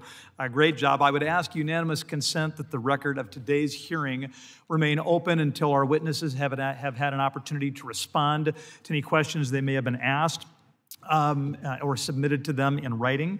Without objection, that has been ordered. And then secondarily, I would ask unanimous consent that the record remain open for 15 days to allow members uh, to make additional comments or raise additional questions. Uh, we could also have the witnesses make additional comments if they so wish.